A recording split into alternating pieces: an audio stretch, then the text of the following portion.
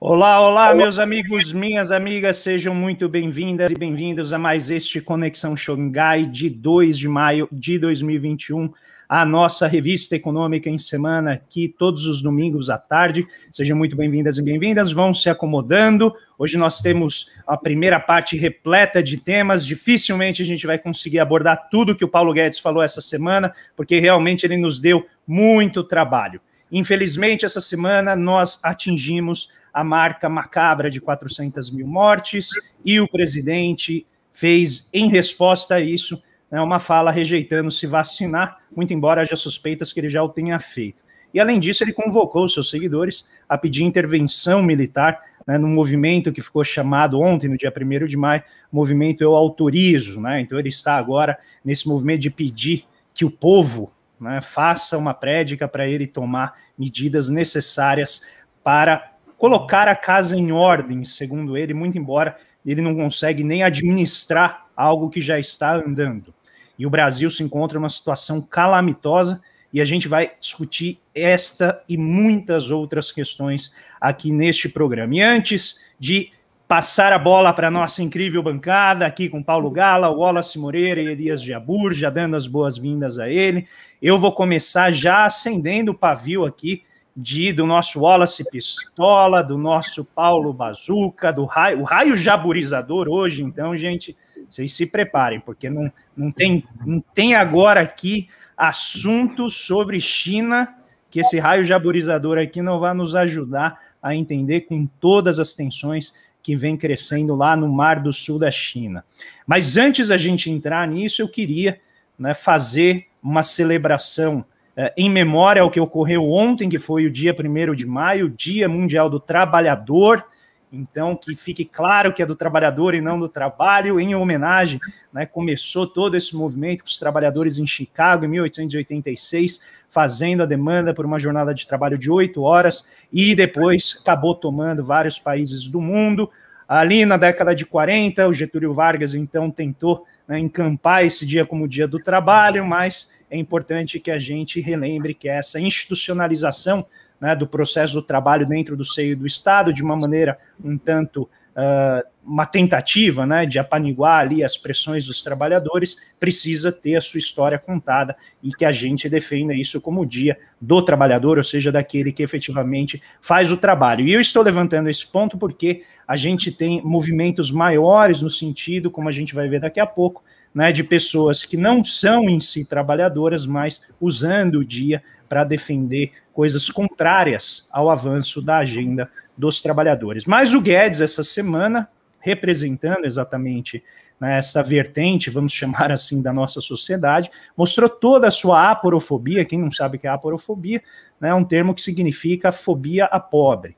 E aí ele já havia dito antes que era uma balbúrdia, porque e agora, essa semana, ele disse que tem pessoas querendo viver até 100 anos, o que é um absurdo, porque tem que sustentar essas pessoas.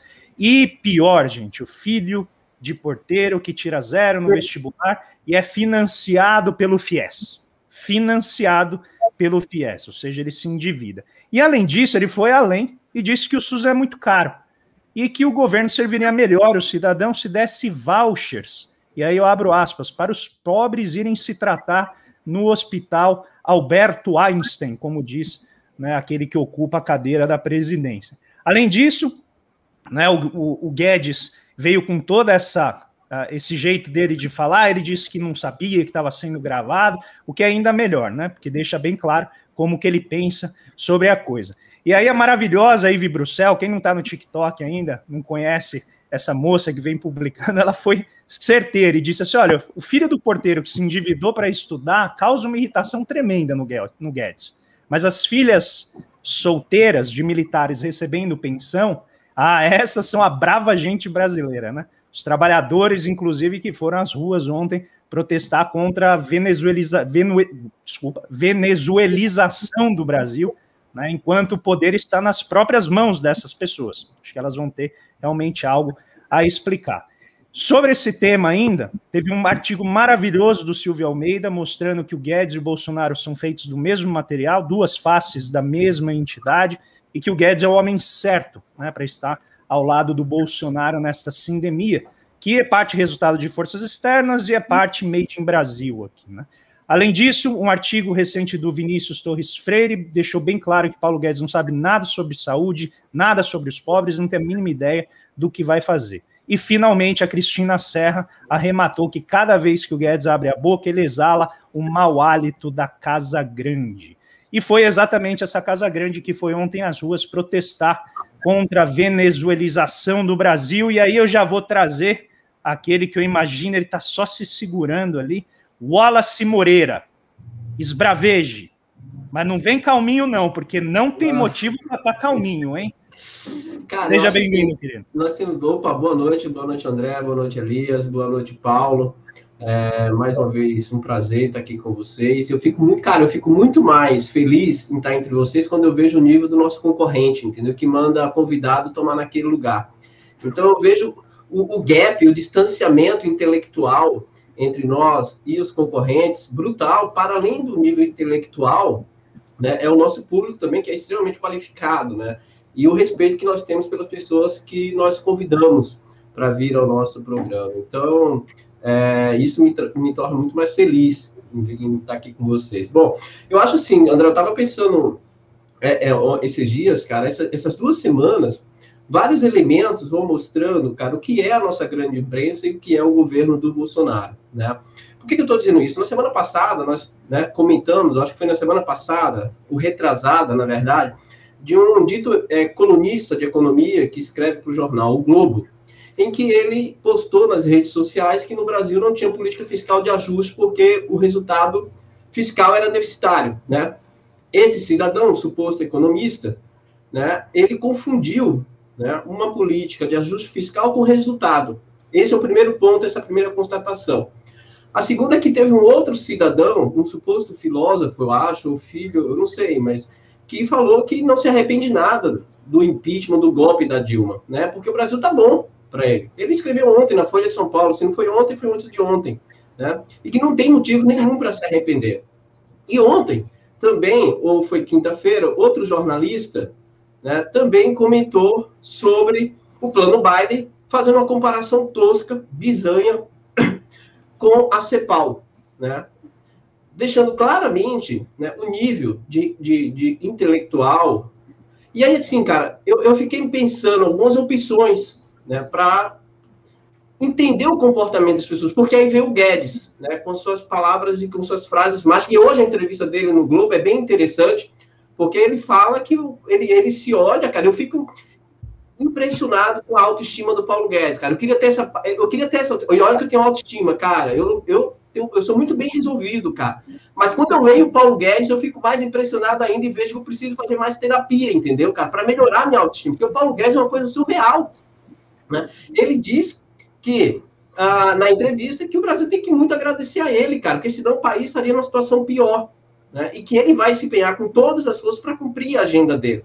Quando eu vejo tudo isso, cara, é, eu alinho muito bem, eu tenho muita clareza né, com o que o Silvio comentou, acho que a coluna do Silvio foi extraordinária, porque para mim fica muito claro que há um alinhamento entre o Paulo Guedes e a, a grande imprensa brasileira e esses supostos colunistas jornalistas. A identidade de agenda econômica é a mesma. O ódio ao pobre que essas pessoas têm também é o mesmo. Porque elas defendem e apoiam, por exemplo, uma agenda do teto de gastos, né? mas são contrários à postura é, contra-civilizatória do governo. Mas a agenda econômica é a mesma. Os ideais políticos também são os mesmos. O que muda entre essas pessoas é apenas o comportamento diante de algo brutal, que é o número de mortes e o negacionismo em relação à Covid. Mas eu não tenho dúvida nenhuma, cara, que o sentimento antipovo, que o sentimento anti-sociedade, que deveria estar contemplado no orçamento público, por exemplo, são os mesmos por essas pessoas. E eu vejo nessas pessoas um elemento é, neomalthusiano brutal, cara. E a fala do Paulo Guedes expressa muito isso. Um sentimento e uma ideia, neomalthusiana. Se a Covid tivesse matando apenas pobres, se naturalizaria. Já, já estamos naturalizando a, a morte pela Covid. Mas nós também iríamos naturalizar mais ainda, e essa grande imprensa iria ignorar se fosse só os pobres que estivessem morrendo. Eu tenho clareza disso. E eu acho que cada dia que passa, isso vai ficando mais em evidência. Quando eu vejo uma postura né, de colunistas e jornalistas que fazem uma crítica civilizatória ao comportamento genocida por parte do principal representante do poder no país, mas ao mesmo tempo dão suporte e apoio à agenda econômica que, na minha concepção, e eu acho que de nós quatro aqui, também está levando o Brasil para o fundo do poço. Na verdade, já estamos no fundo do poço, cara. É, a questão é que esses caras conseguem encontrar um fundo maior cada dia que passa. E isso me chamou muito a atenção.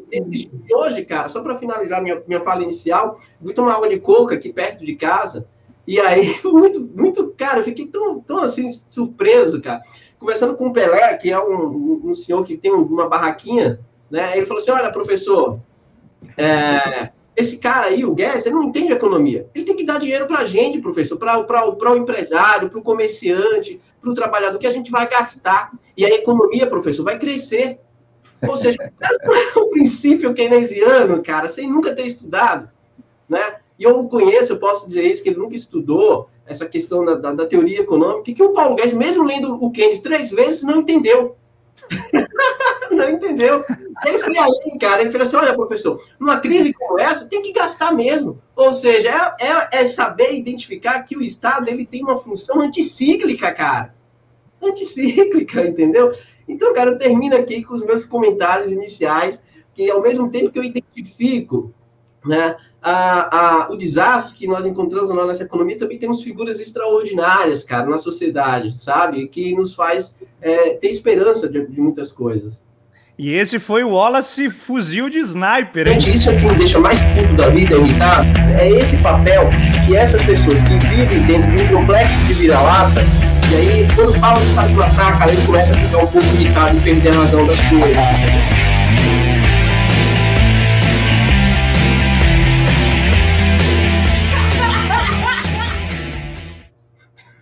Wallace já começou, então, tiro de duas, dois quilômetros de distância, já fantástico. Mas, o Wallace, eu diria que o problema, a questão dele não é super autoestima, não, é alter estima. É de outra coisa que ele imagina que ele tem, mas não é. Porque você vive com o pé no chão, né? Quem vive com ah, o pé sim. no chão sabe as suas limitações. Quem vive em outro plano, né, tem a impressão que é invencível. Elias Jabur! Vamos lá, raio jaburizador. Eu não sei se fala do Brasil ou de país que dá certo. Fala assim, do que você quiser que a gente acha lindo. Pode falar. Cara, eu acho que tem uma aula que eu, que eu sempre ofereço, assim, em uma das disciplinas que eu, que, eu, que eu dou na universidade, que eu falo da perspectiva intelectual do pensamento neoclássico. O pensamento neoclássico é esse que norteia Paulo Guedes e tal, apesar do Paulo Guedes ser de uma corrente mais, entre aspas, radical, monetarista, né? Que é o seguinte, né? O, é, a gente dá aquela aulinha que mostra como a, que o Ricardo foi um intelectual, David Ricardo foi um intelectual que lutou pelos interesses dos, industriais contra os rentiers da terra, etc, etc, etc.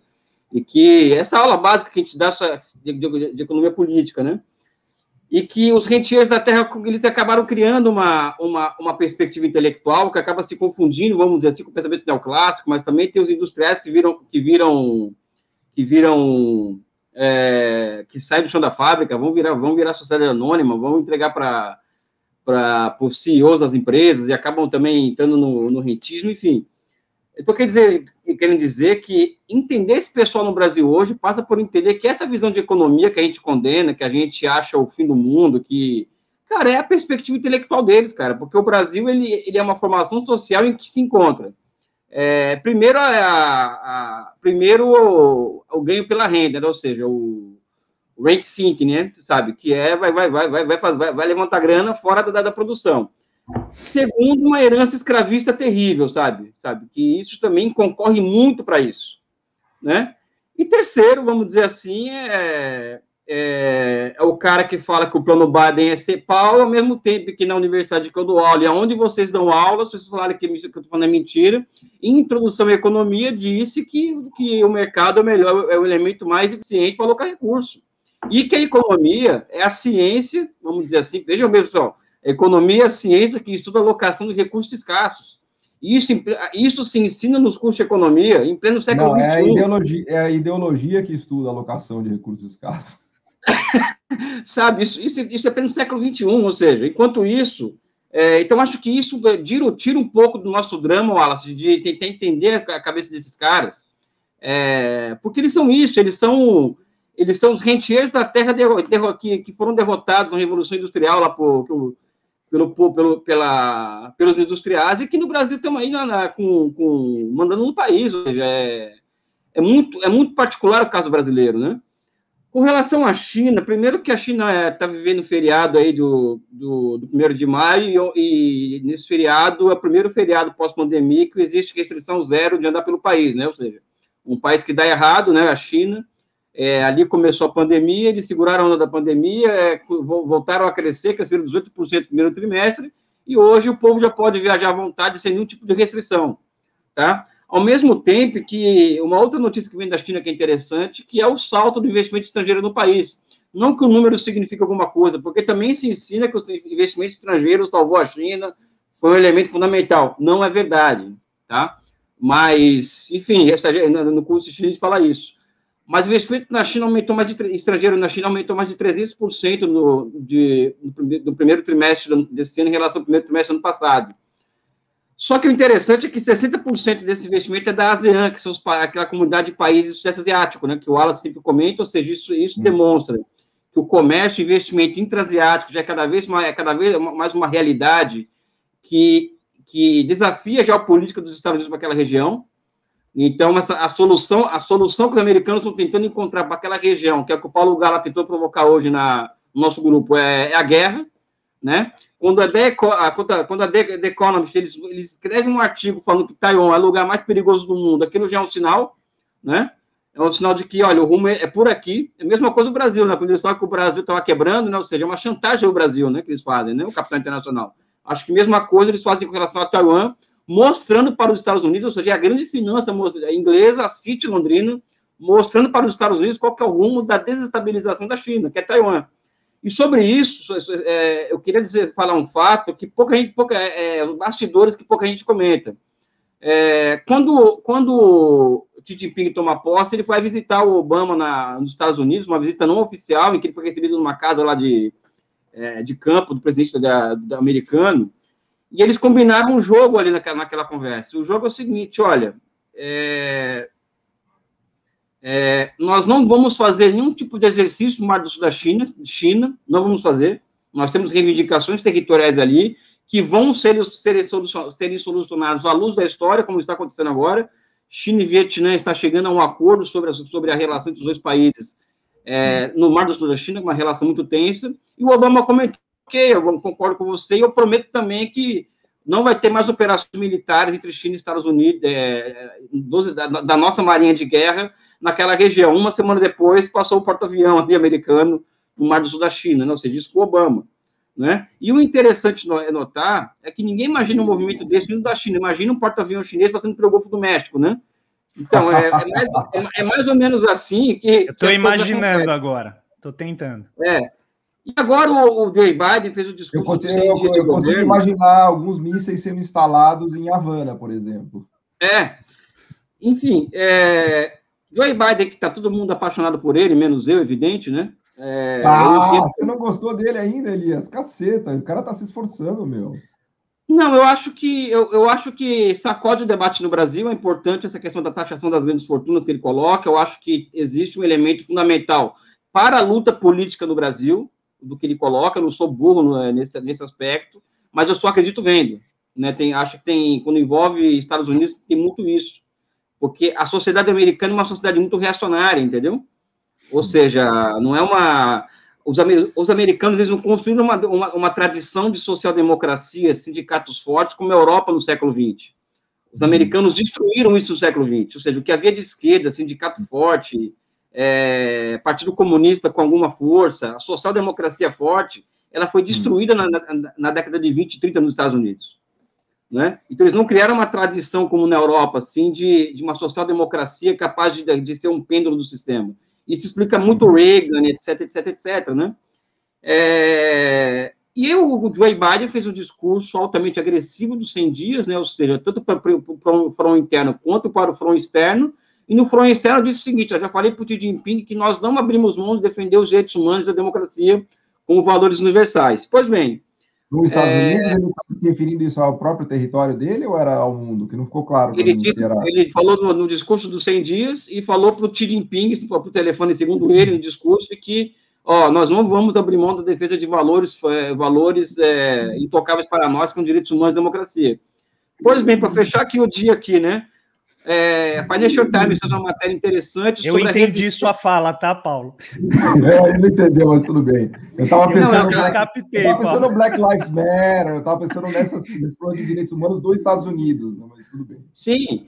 É, o que está acontecendo é que os americanos estão pensando, o governo americano, em, em, em flexibilizar a questão das patentes, pensando, ou seja, tem, os defensores dos direitos humanos estão pensando em flexibilizar a questão das vacinas, mas a última palavra, segundo a Financial Times, vai vir pela organização do Big Pharma, que são as 60 maiores farmacêuticas do mundo, que, claro, como, como empresas é, que detém o controle do, do Estado que mais defende a democracia e os direitos humanos no mundo, é contra a quebra de patentes da vacina da, do coronavírus. E patentes temendo... essas foram descobertas com a grana do Estado americano, que deu de bandeja Lógico, elas, né? Lógico, né? Então, com medo de que, que chineses e russos eles, eles vão usar essa, essa, essa brecha para desenvolver me, medicamentos contra o câncer e também outras vacinas, né? E é evidente, né, que nisso vem um país como Cuba, né, que é um país que desafia a lei do valor, como eu já disse aqui, que vai entregar duas vacinas agora é, é, é contra, é, contra o coronavírus, também um remédio, um remédio é, um terapêutico contra, contra, contra o vírus, né? ou seja, eu acho que o mundo anda muito interessante para a nós todos, né? Desde o Brasil até, até aí fora. Vamos lá, é, Paulinho. É, senhoras e senhores, fazia tempo que não aparecia aqui, né?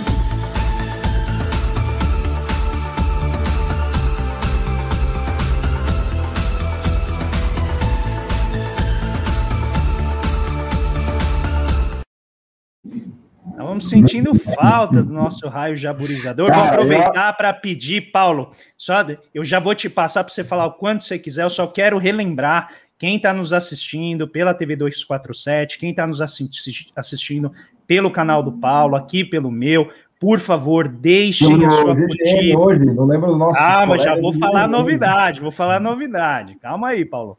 Deixe a sua curtida, compartilhe o vídeo faça com que a gente chegue pelo menos aí a mil likes para o algoritmo turbinar a gente. E quero dar as boas-vindas ao pessoal que nos acompanha pela TV GGN, que começou a retransmitir aqui o nosso programa também. Então, quem estiver nos acompanhando por lá, também peço que venha aqui ao nosso canal. A parte boa é de graça, você não paga nada para dar essa curtida, para compartilhar. E a gente tem visto como muitas vezes a nossa mensagem né, ela demora para chegar onde ela precisa chegar, porque a gente acaba não compartilhando, não curtindo e o algoritmo joga contra a gente. Eu sempre tive aversão a falar essas coisas, tá, pessoal? Mas eu comecei a notar que se a gente não falar, a gente acaba perdendo o jogo. E por isso, com o meu grande professor de redes sociais, de economia, que é esse grande Paulo Gala, e eu trago agora ele para a conversa. Paulo, você fez uma provocação ao Elias ali eu sei que não, não foi sua intenção, mas eu li assim sobre o Reagan, que ele teria dado um tiro no pé, esse grande estadista que o Elias né, mostra que ele é. Como que você viu assim, a, a, atuação do Reagan ajudando hoje a gente entender o mundo que a gente está? E aí já comenta o que você quiser, seja bem-vindo. Bom, André, obrigado, Elias, Wallace, todos que nos ouvem, é um prazer enorme estar aqui. Primeiro, antes de mais nada, eu queria dizer que se teve alguém que foi capturado por esse raio jaborizador, fui eu. Acho que ninguém foi mais jaborizado no Brasil do que eu. Né? Depois que eu conheci o Elias, a gente fez o curso de China, a gente se aproximou, se aproximou mais, eu estou totalmente jaborizado. Eu acho que o Reagan, na verdade, ele era um agente secreto da China, porque ele fez tanta cagada nos Estados Unidos que ele deixou de bandeja né, o campo para a China é, se desenvolver, né? Porque ele, na verdade, ele era um cara tão estúpido, né? Que as políticas que ele usou, né, neoliberais nos Estados Unidos, acabaram é, destruindo os Estados Unidos no limite. E, e, olha que interessante, vou fazer uma volta, começando por Taiwan. Depois eu chego em, em, nesse fim de mundo, né, que é o São Paulo e o Brasil. Mas vejam que interessante, é, o movimento de transferência do Vale do Silício, das empresas tecnológicas americanas para a China, para Tianjin e para Taiwan, criou hoje talvez o maior barril de pólvora do mundo, que é Taiwan. Né? Reparem que é, esse movimento que houve das empresas, das empresas americanas tech de começarem a produzir uh, lá na China, em Tianjin e Taiwan, desindustrializou o Vale do Silício e aumentou muito a dependência dessas empresas em relação àquela região, especialmente Taiwan. Né? E por que a gente está falando de Taiwan? Reparem que a gente está falando de Taiwan, aliás, já há uns 4, 5 programas. Né? É, a The Economist, que tem acompanhado o Conexão Xangai de perto, ela soltou a capa com Taiwan na capa. Né? Pelo, obviamente, eles têm visto, eles traduzem e, e veem o que a gente anda falando.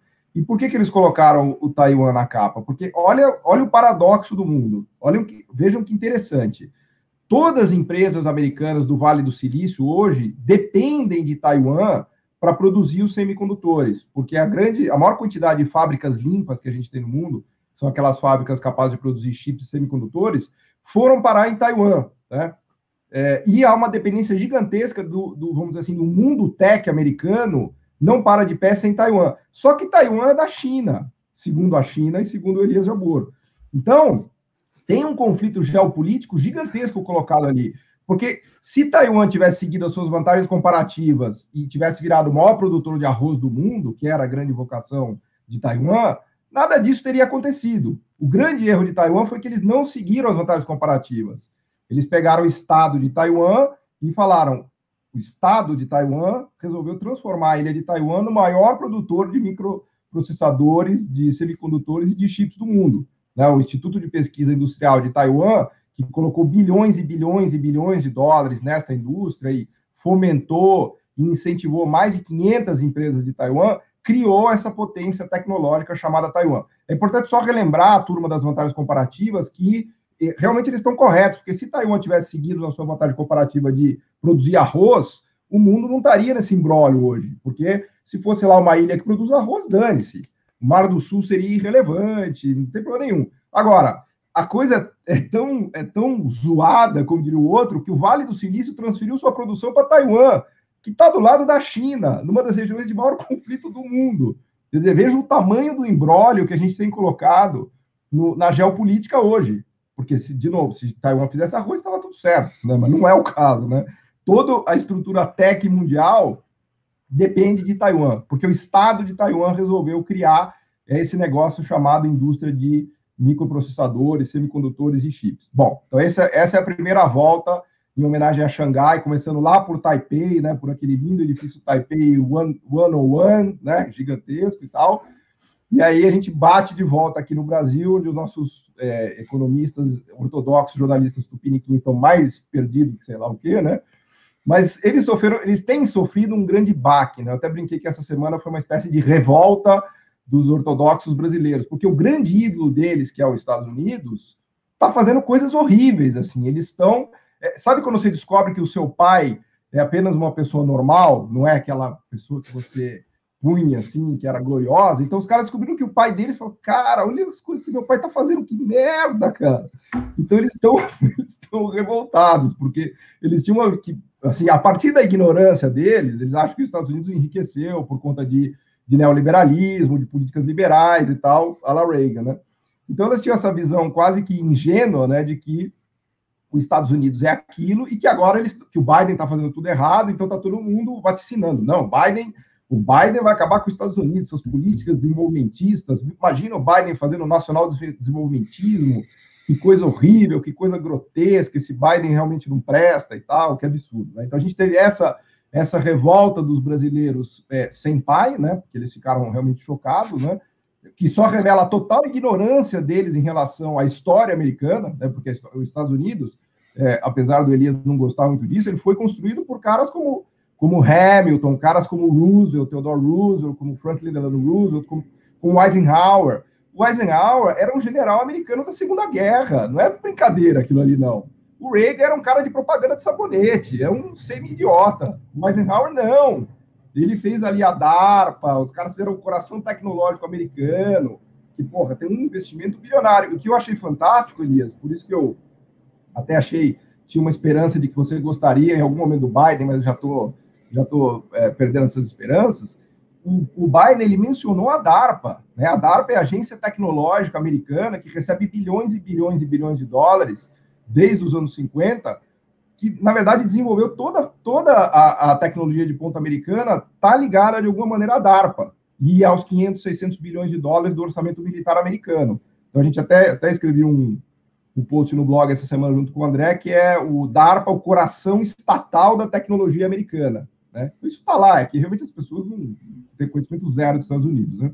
Mas, enfim, então houve essa frustração, né, por conta do, do, do pai que traiu, né? E pior, agora, só para concluir, em relação à história brasileira, é, e aí, então, assim, é evidente que o que o Biden está fazendo é uma espécie de nacional desenvolvimentismo, que é o nacional desenvolvimentismo do Alexander Hamilton, que é o nacional desenvolvimentismo dos reis ingleses, se vocês quiserem, dos mercantilistas é, franceses, dos mercantilistas ingleses, é o nacional desenvolvimentismo dos alemães, né? ou dos japoneses, ou, se quiser até, o Elias vai me matar, dos chineses de Taiwan, né, que é o nacional desenvolvimentismo que realmente produz o desenvolvimento econômico, que foi feito no Brasil de 1930 a 1980. Então, os nossos brasileiros revoltados, né, qual é a leitura que eles têm de Brasil? Né, que o Brasil foi sujo de 1930 até 1980, então toda essa sujeira atrapalhou o desenvolvimento econômico brasileiro. Né, o bom Brasil era aquele da República Velha, lembrando que em 1930 o Brasil estava entre os países mais pobres do mundo, então, segundo a visão deles, a gente teve 50 anos de sujeira, de, de, políticas nacionais desenvolvimentistas, uma coisa nojenta, asquerosa, que desvirtuou completamente o rumo do desenvolvimento brasileiro. E, finalmente, os 80 ainda foram complicados, mas os 90 a gente começou a fazer a boa política liberal, que o FHC abriu a economia. Aliás, tem uma entrevista dele ontem falando que temos que reabrir a economia brasileira, esse é o único caminho para o desenvolvimento e tal. Então, os nossos, os nossos liberais, ortodoxos, nossos jornalistas estão nesse registro de que a sujeira que foi feita no Brasil dos 30 aos 80, agora é feita nos Estados Unidos. Que absurdo. Que absurdo. Né? Agora os Estados Unidos vai querer fazer a mesma cagada que o Brasil fez no período nacional desenvolvimentista. Como é que os caras conseguem viver com uma mentalidade dessa? Isso que eu me pergunto, porque isso requer um nível de ignorância é, é, onipresente, assim, quase que você tem que ser um ignorante em relação à história americana, a desenvolvimento econômico, a geopolítica, assim, você tem que colecionar uma quantidade de ignorâncias, né? um rol de ignorâncias para conseguir ter essa visão do mundo que me deixa chocado, né? Mas enfim, essa aqui é o meu. E falando, falando nessa ignorância sobre história dos Estados Unidos, eu quero convidar todos que tiverem estômago para para relações de troca assim bem desiguais, que assistam na Revolução Industrial Brasileira a conversa que o Paulo teve com, se eu não me engano, o presidente do, da Universidade Libertária, Daniel Imorim, né, se eu não me engano, e, e eu acho, e eu faço esse convite mesmo para vocês verem assim a, a, troca, porque eu acho que vai um pouco nessa linha assim da importância do conhecimento em história né, de a gente não apenas ficar cultivando teorias nas nossas cabeças e achar que o mundo vai responder aquilo, e quando o mundo não responder, você recorta só aquela partezinha da história que é conveniente à sua teoria e esquece todo o resto. Então é uma conversa bem interessante que acho que mostra a importância desses debates, né, e até nesse sentido, Paulo, é, eu acho que todo mundo está percebendo a presença do nosso querido Christian Dunker daqui a pouco, que já daqui a pouco ele já vai entrar aqui, quem veio aqui né, para assistir a conversa. Ele já está, em alguns minutos ele já vai entrar, mas vocês viram que já tem aqui uma, um, em geral, assim, um sabor psicanalítico nas análises, né?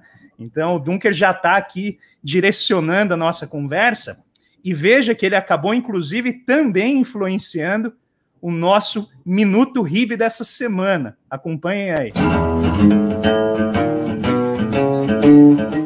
Olá, amigos do Conexão Xangai, tudo bem com vocês? Aqui Fausto Oliveira da Revolução Industrial Brasileira. Nesse domingo eu quero trazer o nosso grande problema nacional, que é o complexo de vira-latas. É um problema psicológico e cultural criado ao longo de décadas, basicamente porque uma parte da sociedade brasileira tem medo de ser brasileiro. Tem um problema seríssimo de aceitar essa nacionalidade diversa, essa nacionalidade culturalmente tão ampla, que pode até assustar certas cabeças que são muito estreitas, tanto estreitas no, no, entendimento de conceitos, como na economia, por exemplo, a gente sempre debate, como também estreitas no entendimento do que é ser brasileiro.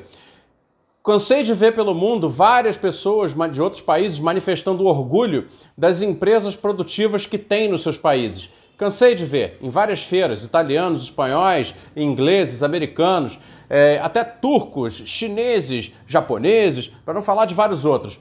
No Brasil, ninguém consegue expressar orgulho, por exemplo, da Embraer. Vocês se esquecem disso. Na hora de defender o Brasil, é preciso também defender o ser brasileiro. O complexo de vira-latas é, sem nenhuma dúvida, um dos maiores problemas psicológicos que nós temos que enfrentar para voltar a unificar essa sociedade em torno de um projeto de país, um projeto de desenvolvimento. Até a próxima!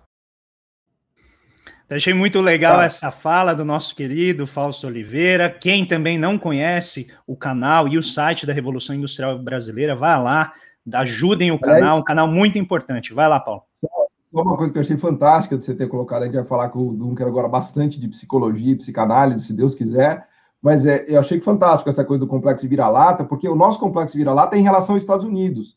Só que os Estados Unidos está se comportando de uma maneira não permitida, por isso que está dando bug na cabeça dos caras, porque a gente tem complexo de vira-lata, né? não a gente aqui, obviamente, né? em referência a um país perfeito que é os Estados Unidos. Só que o um país perfeito que é os Estados Unidos está fazendo o que a gente fazia dos 30 aos 80. Aí a galera ficou louca, ficou, deu bug geral, ninguém sabe explicar. Aí o cara fala, não, que aquele vídeo maravilhoso que você fez, André, recomendo que todo mundo assista o vídeo no seu canal, fazendo uma crítica àquele fulano lá, Dória, não sei se esse cara é economista. Pedro Dória, Pedro, não, não é. é. Ele é jornalista. Falou é, um monte de besteira, mas você vê que o cara tem um nó na cabeça dele geral, porque o ídolo dele tá fazendo tudo errado, tá fazendo igual o Brasil fazia errado no, no, no desenvolvimentista. Né? Agora, eu não acho que o, o complexo de vira-lata, cara, ele se limita apenas aos Estados Unidos. Você, basta você ver, pega, pega esses caras falando da Coreia do Sul também. Eles ignoram, cara, o, o Estado desenvolvimentista da Coreia do Sul e começam a defender. Tá, também ignora o americano, a ignorância dele é, é então, é, é, plena. Né? Quer ver um exemplo agora que aconteceu? É, o, o, o, os herdeiros da Samsung vão ter que pagar 10 bilhões de imposto sobre herança e patrimônio. 10 bilhões de dólares. Entende? 50% em cima de patrimônio dos herdeiros da, da Samsung, que é uma parte daquilo que o, o, o falecido dono da, da, da, Samsung morreu, entendeu? Então, assim, é, essa parte da história, por exemplo, que tem uma agenda mais progressista na Coreia do Sul, também é ignorada pela grande imprensa no Brasil e por todos Não. esses que prezam muito pelo Não. sentimento do complexo de vira-lata, né?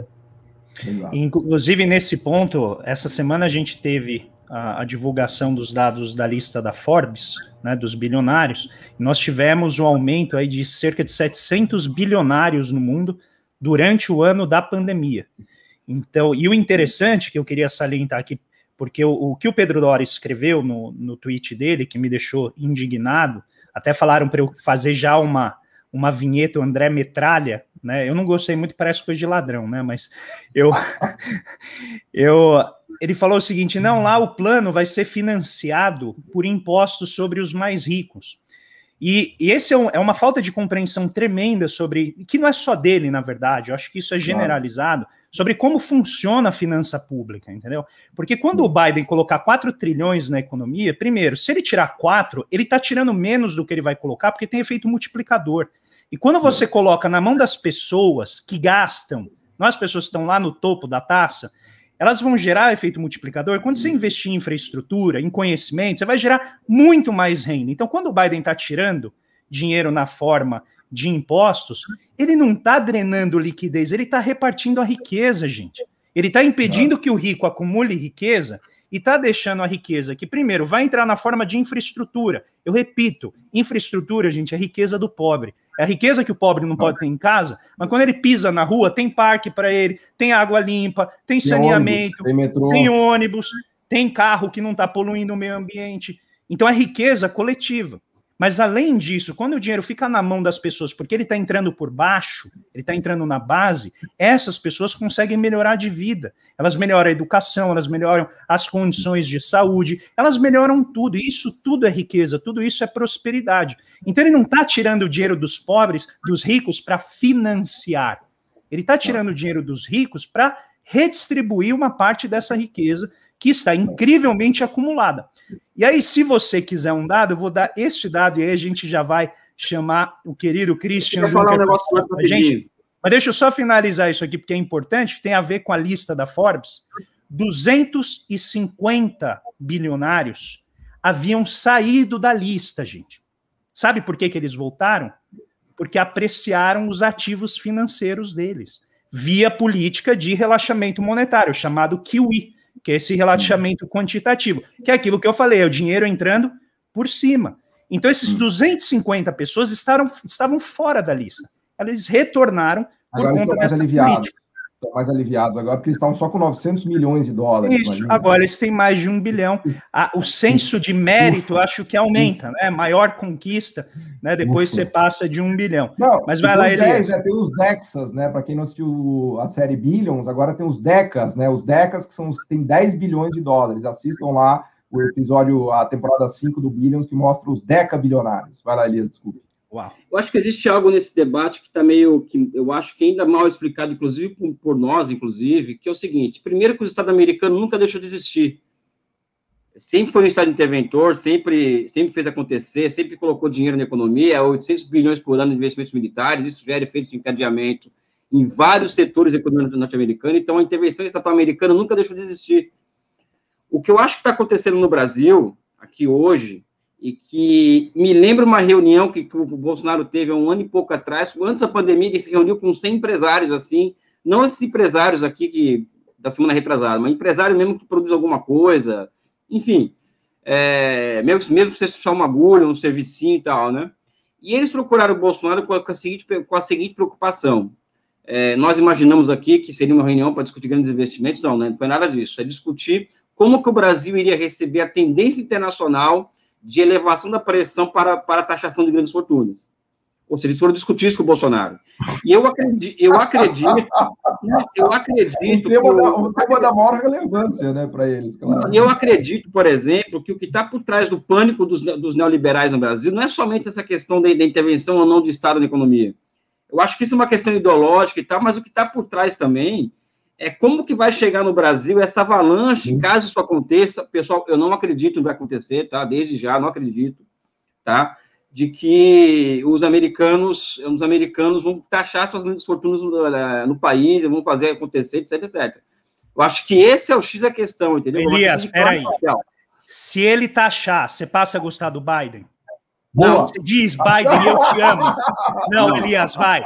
Ó, Compromisso, vai, aperta a mão aqui. aqui Cara, eu vou te falar uma coisa, eu, deixo, eu vou passar a gostar do Biden, sem sacanagem, quando ele deixar de ordenar que drones sobrevoem o Oriente Médio e bombardeiem é, aldeias camponesas. Acho que quando ele parar quando ele parar com esse tipo de coisa, eu passo a gostar dele. Mais. Você quer que ele deixe de ser o, os militares do mundo? Não dá, não vai dar. Eles não, não vai fazer isso. Não, até porque, até porque estimula, estimula o complexo industrial militar dos Estados Unidos. Você quer destruir a principal, o principal setor mais competitivo dos Estados Unidos, que é um dos setores mais competitivos. Não, claro, claro, mas é. Mas essa semana foram 200 bombardeios. Fora, 200 fora o que tá, fora o que está acontecendo no Iêmen, que pouca gente, que pouca gente está Está Não, tudo bem, Elias. Então ele tem que taxar os ricos e parar de bombardear. A gente vai anotar esse registro. E agora já temos aqui Christian Dunker no estúdio com a gente. A gente vai passar, claro, a vinheta do Subacolino e ele já está com a gente na sequência.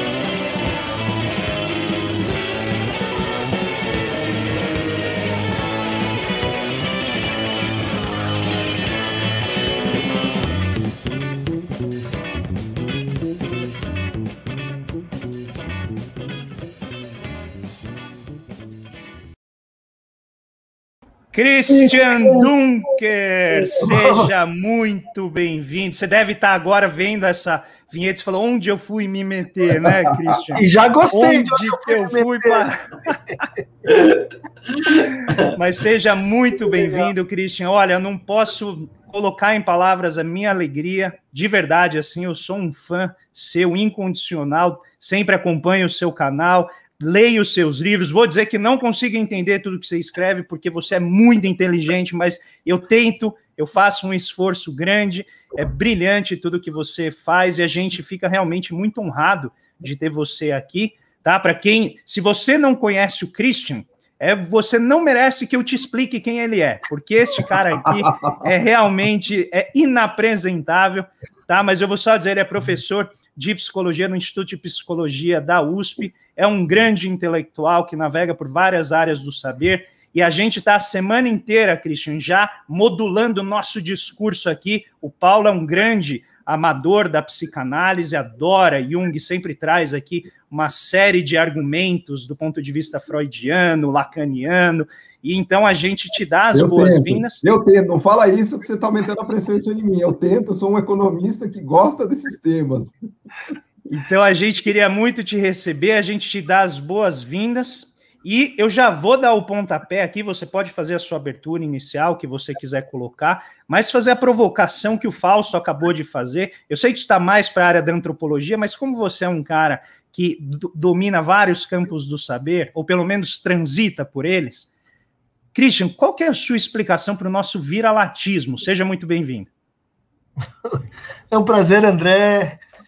Elas, Paulo, Wallace, realmente é uma satisfação poder falar com uma bancada assim de economistas, teóricos sociais, né? É, um, é uma, uma realização, num certo sentido, né? Porque as coisas que a gente escreve é justamente para aumentar assim o, o tamanho da conversa, né? E tentar sair dos nossos condomínios cognitivos e Perfeito. intelectuais também. Né? É, essa história do, do, do vira-lata é interessante, porque Bom, tem algumas eh, leituras de como isso começou, mas uma delas é que se atribui o, o, a designação ao, ao Nelson Rodrigues, né? É, que era uma, uh, um ironista, né? e que bola essa, essa ideia para uh, nomear o que aconteceu depois da derrota para o Uruguai em 50 no Maracanã. Né? Ou seja, a gente tinha uma espécie assim de é, de força que impedia a vitória, que não, que não deixava a gente vencer. Né? E, e, que isso estava tava ligado, eu vi o debate de vocês, estava ligado talvez a uma espécie de reorientação do Brasil, né? reorientação cultural que vinha da Europa, que vinha de uma ligação assim informativa com a Europa e que tinha assim o um horizonte dos Estados Unidos. Né? Então, nesse momento, a gente se descobre muito menor do que a gente achava. Nesse momento, a gente se compara com, com a cultura americana, que é expansionista, que é, é vamos dizer, hierarquizante, então nós, nós, nós, nós, estamos muito atrás, nós não somos como eles, nós não, não sabemos ganhar, nós não temos essa, é, essa gana por ganhar. Né? É, quer dizer, tem uma ironia nessa vira-lata e tem uma alusão à raça. Né? É, o que, que é o vira-lata? É o impuro, é o cachorro que não é de perigria, é o que, que mexe no lixo, que anda pelas ruas, né? É, e tem uma, uma série de, de, convergências aí, né? Inclusive, acho que tem uma relação do, da crise de, de 16, de 13, conforme a gente queira datar, é, e uma espécie de retorno do, da reflexão brasileira sobre sua própria identidade. De repente, nós precisamos pensar de novo o que significa ser brasileiro. E talvez pensar mal, né? Pensar assim, na baseada, pensar com atraso. E aí deu no que deu, né? É, uma das coisas que a gente estava discutindo agora diz exatamente respeito a isso. O professor Paulo Nogueira Batista Júnior, no último livro dele, justamente vai falar sobre o viralatismo, e ele resumiu isso como o medo que o Brasil tem de crescer. Né? Parece que a gente uhum. não quer assumir tudo aquilo que se coloca né, sobre a gente.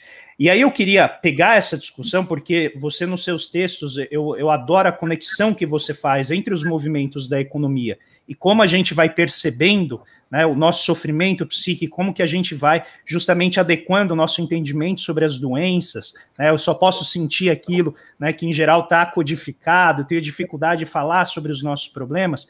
E a gente queria trazer um pouco isso para a dimensão do desenvolvimento econômico, que é o nosso foco uhum. aqui no programa, que é entender né, para além dos limites da economia, do condomínio da economia, que você deve saber, né, Cristian, é bem fechadinho, bem hermético, tem assim seguranças muito fortes, né, na frente, tanques que impedem a entrada de outros altos, cientistas de, de outras áreas. E, e uma das preocupações que a gente tem, e eu acho que para mim, realmente assim, você me tomou de assalto com a teoria, com a ideia da lógica do condomínio. Né? Então, eu acho que seria legal a gente começar por essa ideia, porque eu acho que ela sintetiza bem uma série de aspectos, de maneira nuclear, né? Ela sintetiza uhum. uma série de aspectos que a gente acaba vendo hoje nessa situação de polarização que a gente vem vivendo politicamente, e a gente pode crescer e construir a partir dela. Uhum. Fazer uma, uma síntese, né? tentando aproximar da, da, das questões da economia, da, da teoria social, né? da geopolítica também. E, a, essa pesquisa ela começou com uma indagação sobre assim por que, que a gente muda historicamente a maneira como a gente sofre. Tá? Para além da ideia de que existem modas, de que bom agora todo mundo é depressivo, antes era todo mundo neurótico, tem que existir uma lógica né, é, que, que, integre a nossa maneira de trabalhar, de desejar, de, de, de falar com a nossa maneira de sofrer. Né? Isso não pode ser simplesmente uma sucessão, uh, como seria o caso de uma doença natural, né? Uh, de, um, de um vírus, de uma, de uma uh, ação, vamos dizer assim, da natureza. Né? E daí, pegando, por exemplo, os autores da psicologia nos anos 60, é, a gente nota uma curiosa conexão com uh, o pensamento econômico. Porque todos eles, ou majoritariamente, pensavam assim: a gente sofre porque a gente para de se desenvolver. A gente sofre porque é, nas etapas, né? Então, se você for freudiano, né? Oral, anal, fálica, se for piagetiano, né? O sensório motor, para o simbólico, você passa por uma espécie de fixação, né? É, de tal maneira que já estava lá nos anos 60, essa de que se a gente quer constituir um sujeito, né, propriamente dito, a gente tem que ajudá-lo a se desenvolver. Né? E isso significa superar contradições, superar impasse, superar, superar conflitos, deixar para trás formas de vida. Né? Bom, mas isso estava valendo até 60. A partir de 70, né? e aí mais exatamente olhando para o primeiro condomínio né, surgido no Brasil em 73, né, que é a Ilha do Sul e Alphaville. Né? Aliás, numa área destinada à preocupação indígena. Aliás. Deixa é, eu só fazer aqui a, a propaganda né, do livro Mal-Estar, Sofrimento e Sintoma. Olha, gente, vale muito a pena. E daqui a pouco eu vou te pedir para você contar uma história desse livro que é muito legal, mas pode continuar. É. E, e, bom, então em 73, a gente tem o quê? A gente tem São Paulo, por exemplo, crescendo, Rio, outras grandes metrópoles, né? o Brasil deixando de ser rural, muita migração, muita uh, mistura né, na, na, no espaço público, e uh, não dá mais para você responder a isso com a, a, a lógica do coronel, né? a lógica da violência ostensiva, a lógica do bom, uh, eu mando prender e arrebento, apesar da gente estar tá ali no meio da ditadura. Né? Você começa a ver uma percepção de que isso, isso é atraso, né? isso é velho. Então se montam os condomínios como uma forma de dizer assim: o Brasil como um todo não tem jeito, não vai dar para salvar todo mundo. Então vou construir uma forma de vida artificial, murada. Né?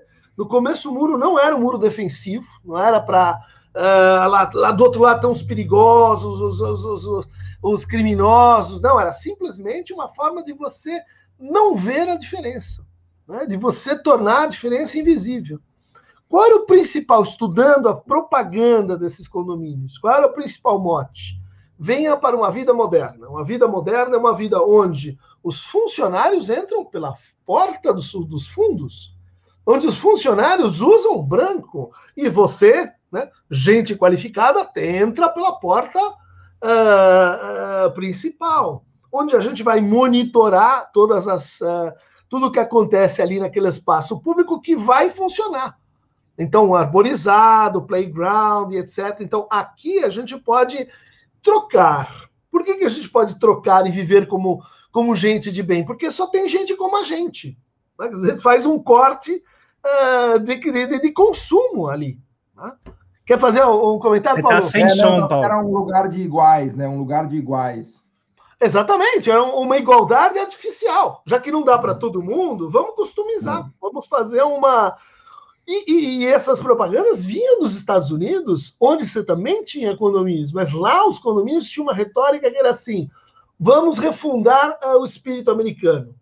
O Velho Oeste, juntar, então, os imigrantes, os indígenas, vamos, vamos fazer nos condomínios uma experiência multicultural. Aqui o que, que significa? Uma experiência contra a, a, a diversidade, contra a, a diferença. Né? Bom, uh, e uma coisa que não está no livro, né, nesse livro, está no livro subsequente, é que 73 é também esse, esse o ano em que eh, Pinochet no Chile aplica pela primeira vez, né, é, na prática, o ideário neoliberal. Né? O que, que, a gente começou a intuir a partir disso? Estava em curso uma espécie de mutação da política geral para o sofrimento. Até esse momento, vamos chamar momento liberal, momento do desenvolvimento. Isso explica muita coisa sobre Paulo Guedes, né? porque era o ídolo dele, o Pinochet. O Paulo Guedes estava é, no Grêmio, no Chile, ele com, tá os caras que vieram de né? Chicago. Exato. Era um, assim, é, era um, observador direto da história. Né? Bom, mas é, até esse momento, o que, que você tinha? Uh, o trabalhador tem que ser protegido, porque ele é parte do capital.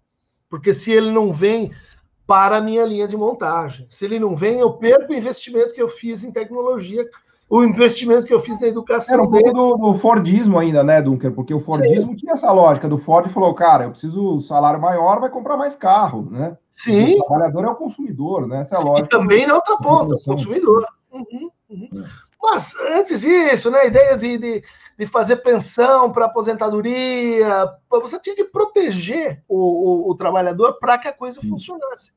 O que, que o do sofrimento, né? O que, que o neoliberalismo inventou? Por que não pegar o sofrimento e administrá-lo diretamente nas pessoas? Fazer as pessoas sofrer para aumentar a produtividade. Jack Welch, vou demitir aqui 10% dos trabalhadores, independente do resultado no final do ano. Para quê? Para produzir uma cultura do medo. Porque na cultura do medo, na cultura da ameaça, você vai perder o seu emprego se trabalha mais. Esse programa aí que esse programa aí que tinha que o Trump fazia, até como é que chamava esse que ele falava, está demitido, não sei das quantas. O aprendiz. Ah, o, o, aprendiz. aprendiz. Isso aí. Exatamente. Né? Quer dizer, é todo bom. E daí a gente vai para um conjunto de coisas que tem é, cujo cujo locus inicial é o condomínio, né? Segregação, a autoridade em forma de síndico, de gestor, né? A, a a ideia de que você tem certas patologias que são próprias disso, como a depressão, como as patologias narcísicas, uh, a ideia de que, é, enfim, a, a, segurança que você deve procurar enquanto objetivo maior de sobrevivência, ela vai estar na vida privada, não vai estar na vida pública, né? Disso a gente teve uma guinada em termos de diagnóstico, em termos de política geral com relação ao sofrimento. Em vez de proteger, administrá-lo. Né? E o, o, Deixa eu só avisar Elias, Wallace e Paulo, vocês falem, porque senão, assim, ó, aqui tá um é, sonho não, se ele... realizando para mim. Eu não, vou ficar perguntando é... para ele tudo que eu quero perguntar. Eu, então, eu, Vai lá, fala você, Elias. Não, Cristian, eu não sei. Você fez alguns. Você tem algum um estudo comparativo é difícil, porque demandaria muito tempo, mas uma visão do que acontece em relação de termos de Oriente e Ocidente? Ou seja, é, aqui no Ocidente até se transformou nisso de um tempo para cá, o Oriente é mais diferente, que é uma, é uma cultura mais coletivista, que tem relação com o modo de produção asiático lá atrás. Você tem alguma ideia a respeito disso? Porque é algo que me chama muita atenção, certamente do Wallace também, né? Uhum. É... E aí, que o Ocidente é, é algo de buraco mesmo? É, isso, é final do Império Romano? Porque o seu diagnóstico que... das sociedades modernas é um pouco final do Império Romano, eu acho, do que eu li das suas coisas, sabe? Você está um pouco, você está descrevendo o final do Império Romano, só que hoje, né? Sim. Sabe? Como, como que você, como que você, como que você observa isso? Oriente, Ocidente, decadência ocidental, enfim, como que você vê isso? Olha, tem várias aí questões, né? Não, não me dediquei muito a, a essa comparação, devia fazê-lo, né? É, mas eu diria assim que a gente tem, é, para o que concerne assim, a experiência de sofrimento, a, aos sintomas, a gente tem uma diferença muito grande nos modos de subjetivação no Oriente e no Ocidente. Né? No Ocidente, é claro, para a constituição dos indivíduos, é, uma partição entre vida privada e vida pública. E, e, entre essas duas dimensões, você desenvolve um conflito, você desenvolve uma, uma divisão e, e alguns uh, dispositivos de, de correção né, para essa divisão, como a intimidade e como a comunalidade, né, a experiência do comum. No, ori no Oriente, pensando especificamente China, uh, um pouco Índia, que eu conheço mais de perto, uh, essa divisão ela não ela existe, mas ela não é tão central. Né? Ela não é o, não é o ponto-chave do conflito. Né? Vou dizer assim, eh, a gente tem uma em vigor aí sociedades que são mais holistas, né? sociedades que, eh, mesmo no caso do Japão, né, eh, vão uh, encampar a relação com o trabalho como uma relação ainda muito baseada na honra coletiva, na experiência coletiva, na cultura da, da uh, é, da vergonha e não tanto a cultura da culpa, é, na, na, na, cultura do, de, um, de um certo tipo de reconhecimento que, é, vamos dizer assim, não é, não é, não é o lugar do conflito. Né? É, o reconhecimento é dado de forma por gramáticas mais estáveis, né? me parece, no, no Oriente, e eventualmente isso está por trás da, é, no incremento de produtividade. Né? Eu queria, é, eu queria até pegar esse, pegar esse gancho, fazer uma pergunta, Christian, se você puder uhum. dar alguma luz. Assim, eu estava lendo o seu livro, que aliás achei fantástico, estava assistindo seus vídeos também, estava tentando fazer uma leitura de um economista, né, das coisas que você fala, do que você escreveu. É, então, eu queria colocar essa leitura aqui de economista para você me falar quanta besteira eu estou falando aqui e, e, quanto que eu consegui capturar do seu raciocínio. Né? Porque, lendo vendo suas coisas e lendo suas coisas, a, a, sensação que eu tenho é que é, a gente pode, poderia fazer uma leitura do neoliberalismo como um movimento de desvalorização do trabalho. Né? Quando você fala de, de redução da proteção do trabalho, uhum. é, e principalmente pela retirada do Estado, porque no final do dia, quando a gente fala de proteção do trabalho, quem protege é o Estado contra o capital, se quiser, Sim. né? Porque tem uma simetria gigantesca, capital-trabalho, né? Até lembrando ontem, né, do Dia do, do Trabalhador. Então, é, a leitura que eu estou fazendo é uma de desvalorização do trabalho, promovida, obviamente, pela, por essas, é, pela proteção que é reduzida, né? Como um movimento de enfraquecimento do Estado, né? É, que nos trouxe para cá. Ou seja, a gente poderia fazer uma leitura do neoliberalismo com uma leitura de desvalorização do trabalho a partir do enfraquecimento do Estado, porque é o Estado que protege o trabalho em relação ao capital, né? Uhum. E nessa linha, Elias, né, e a pergunta que você fez de Ásia, eu faria uma leitura de valorização do trabalho no, no leste asiático, especialmente dos países que têm conseguido prosperar, né? Japão certamente é um deles, Taiwan, Coreia, Singapura, Vietnã. Então eu enxergo, é engraçado porque assim, para um economista, o desenvolvimento econômico nada mais é do que a valorização do trabalho. Aliás, é, é quase tautológico, porque um país rico é um país que tem uma alta renda per capita. O que é uma renda per capita? É um trabalho que vale muito, né? Porque você pega um PIB, divide pela população e dá uma renda per capita elevada. Posso então, fazer um dado, Paulo, para você? Um dado? Pode, claro, por favor. É para fortalecer teu argumento. Por exemplo, um dos argumentos dos neoliberais, até dentro da esquerda tem muito isso, é que é chamado fim do trabalho, né? E hoje, é, os relatórios da OIT, os últimos, que eu acabei lendo essa semana, demonstram o seguinte: 80% do trabalho, do, do trabalho nos países ricos são de trabalhadores assalariados, né? ou seja, o trabalho ele continua sendo a, é, o fim do trabalho é um mito, vamos dizer assim, né? Enfim, é mais para estabelecer seu, seu, seu argumento. É, e, mas o que eu achei fantástico, Cristian, é que assim, eu, eu, eu adoro temas de psicologia, né? Eu sou um leitor é, apaixonado de Freud, de Jung, mas eu, meu ganha-pão, né? O leite das crianças é com economia, né? Mas eu achei fantástica essa conexão que você fez, que, não, que eu acho que é uma baita sacada, que é essa de que a desvalorização do trabalho que cria as patologias e as doenças é, da atualidade, porque é, o trabalho ele não só ele é desvalorizado, como ele é você convence o trabalhador que aquilo é ótimo, né? Então quando você chega na uberização, nos iFoods da vida, no empreendedorismo. Quer dizer, no fundo, é mais até do que uma gestão que você coloca, né? No fundo, é quase como se os coaches fossem os agentes de mostrar a desvalorização do trabalho como algo de extremo valor, por assim dizer, né? Uhum. Então, a gente, tá, a gente caminhou para uma sociedade que está completamente de ponta cabeça, em que e pior, quer dizer, essa desvalorização do trabalho, ela não produz desenvolvimento econômico. Pelo contrário, porque, lembrando de novo do Fordismo, né, o que produz desenvolvimento econômico é Fordismo, que você valoriza trabalho, a valorização do trabalho gera mais consumo, gera mais renda, gera mais investimento e gera mais prosperidade. É isso que a China está fazendo, que a Ásia faz. Né? Então, a desvalorização do trabalho ela vai levar para um lugar em que o trabalho não vale nada, e que o país fica pobre, e claro, e que tem os bilionários, o que é rico é muito rico, fica lá nos seus condomínios, com muros gigantescos, carros blindados, seguranças com metralhadoras, e está tudo resolvido, né? Então eu queria, assim, foi assim que eu li, né, o seu, o seu trabalho, né? E eu uhum. queria te perguntar aqui o, o, se eu estou mais ou menos indo na, na direção, é, enfim, correta, né? Totalmente correta, a leitura totalmente pertinente. Eu, eu só acrescentaria é, que você está descrevendo uma desvalorização do trabalho que ela se fez acompanhar de uma acumulação flexível, né, como diz o Harvey, né, de uma financiarização uh, das relações de produção. O que, eh, vamos dizer assim, levou esse uhum. mote do faça o dinheiro trabalhar por você.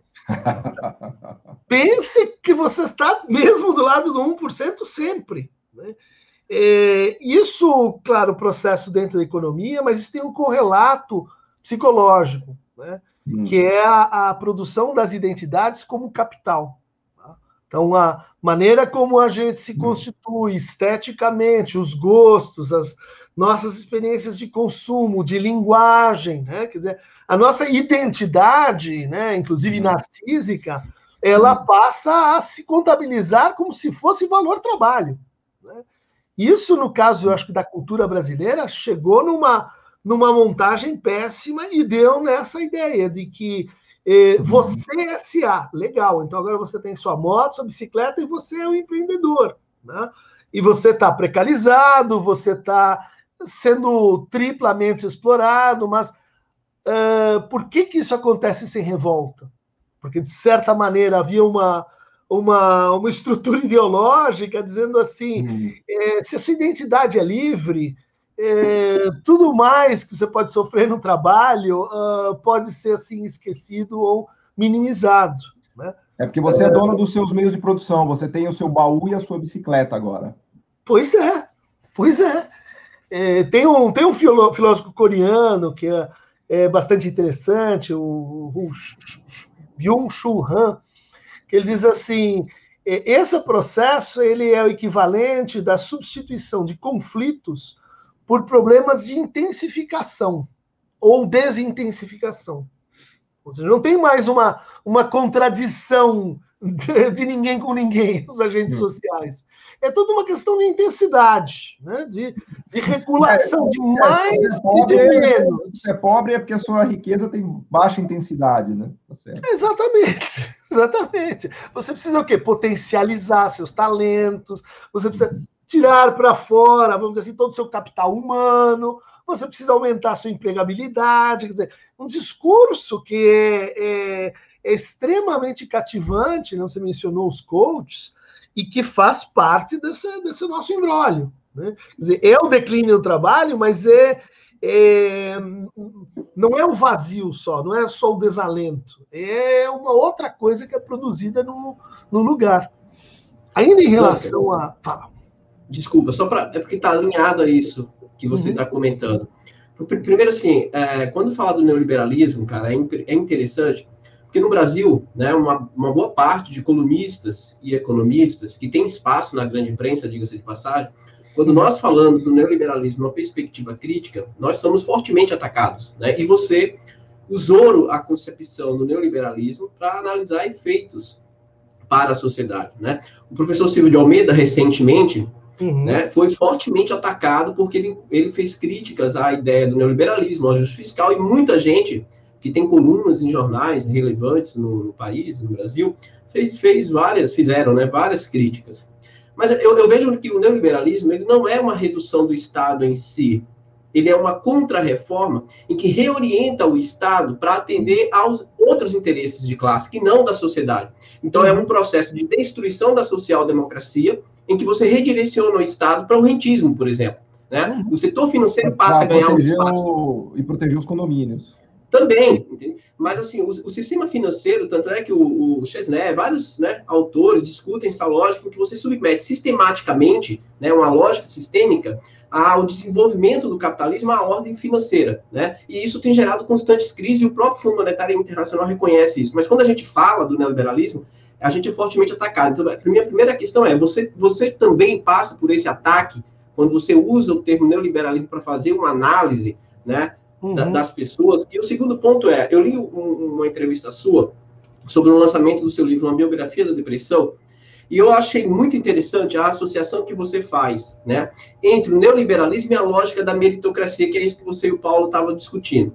Porque, veja, é, do ponto de vista econômico, né, é, a gente tem um processo de transição entre a escola clássica, né, o Smith, o Ricardo, o Marx, que trabalhavam com o conceito de classe, e surge a escola marginalista, né, que tira o conceito de classe e incorpora o, o conceito de indivíduo.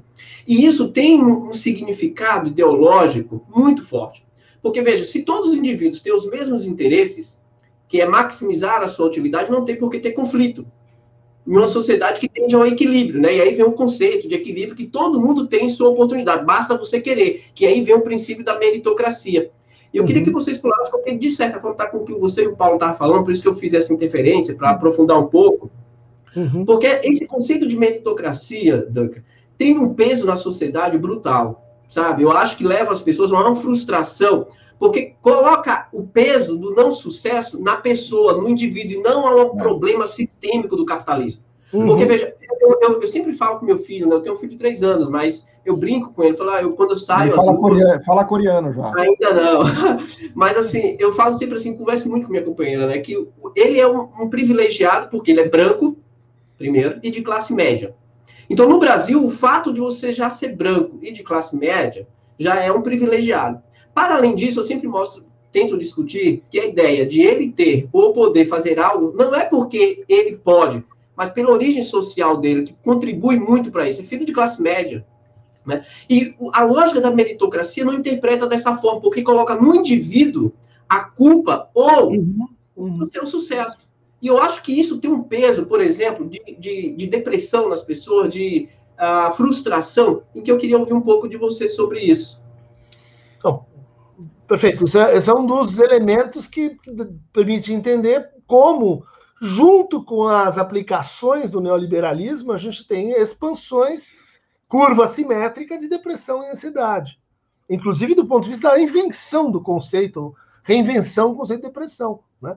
É uma, uma forma de sofrimento que sempre teve aí, mas que ela está ligado à autoavaliação permanente. Então, você coloca aí uh, o 360, a empregabilidade constante, ela está ligado à individualização de fracasso e, e mérito. Né?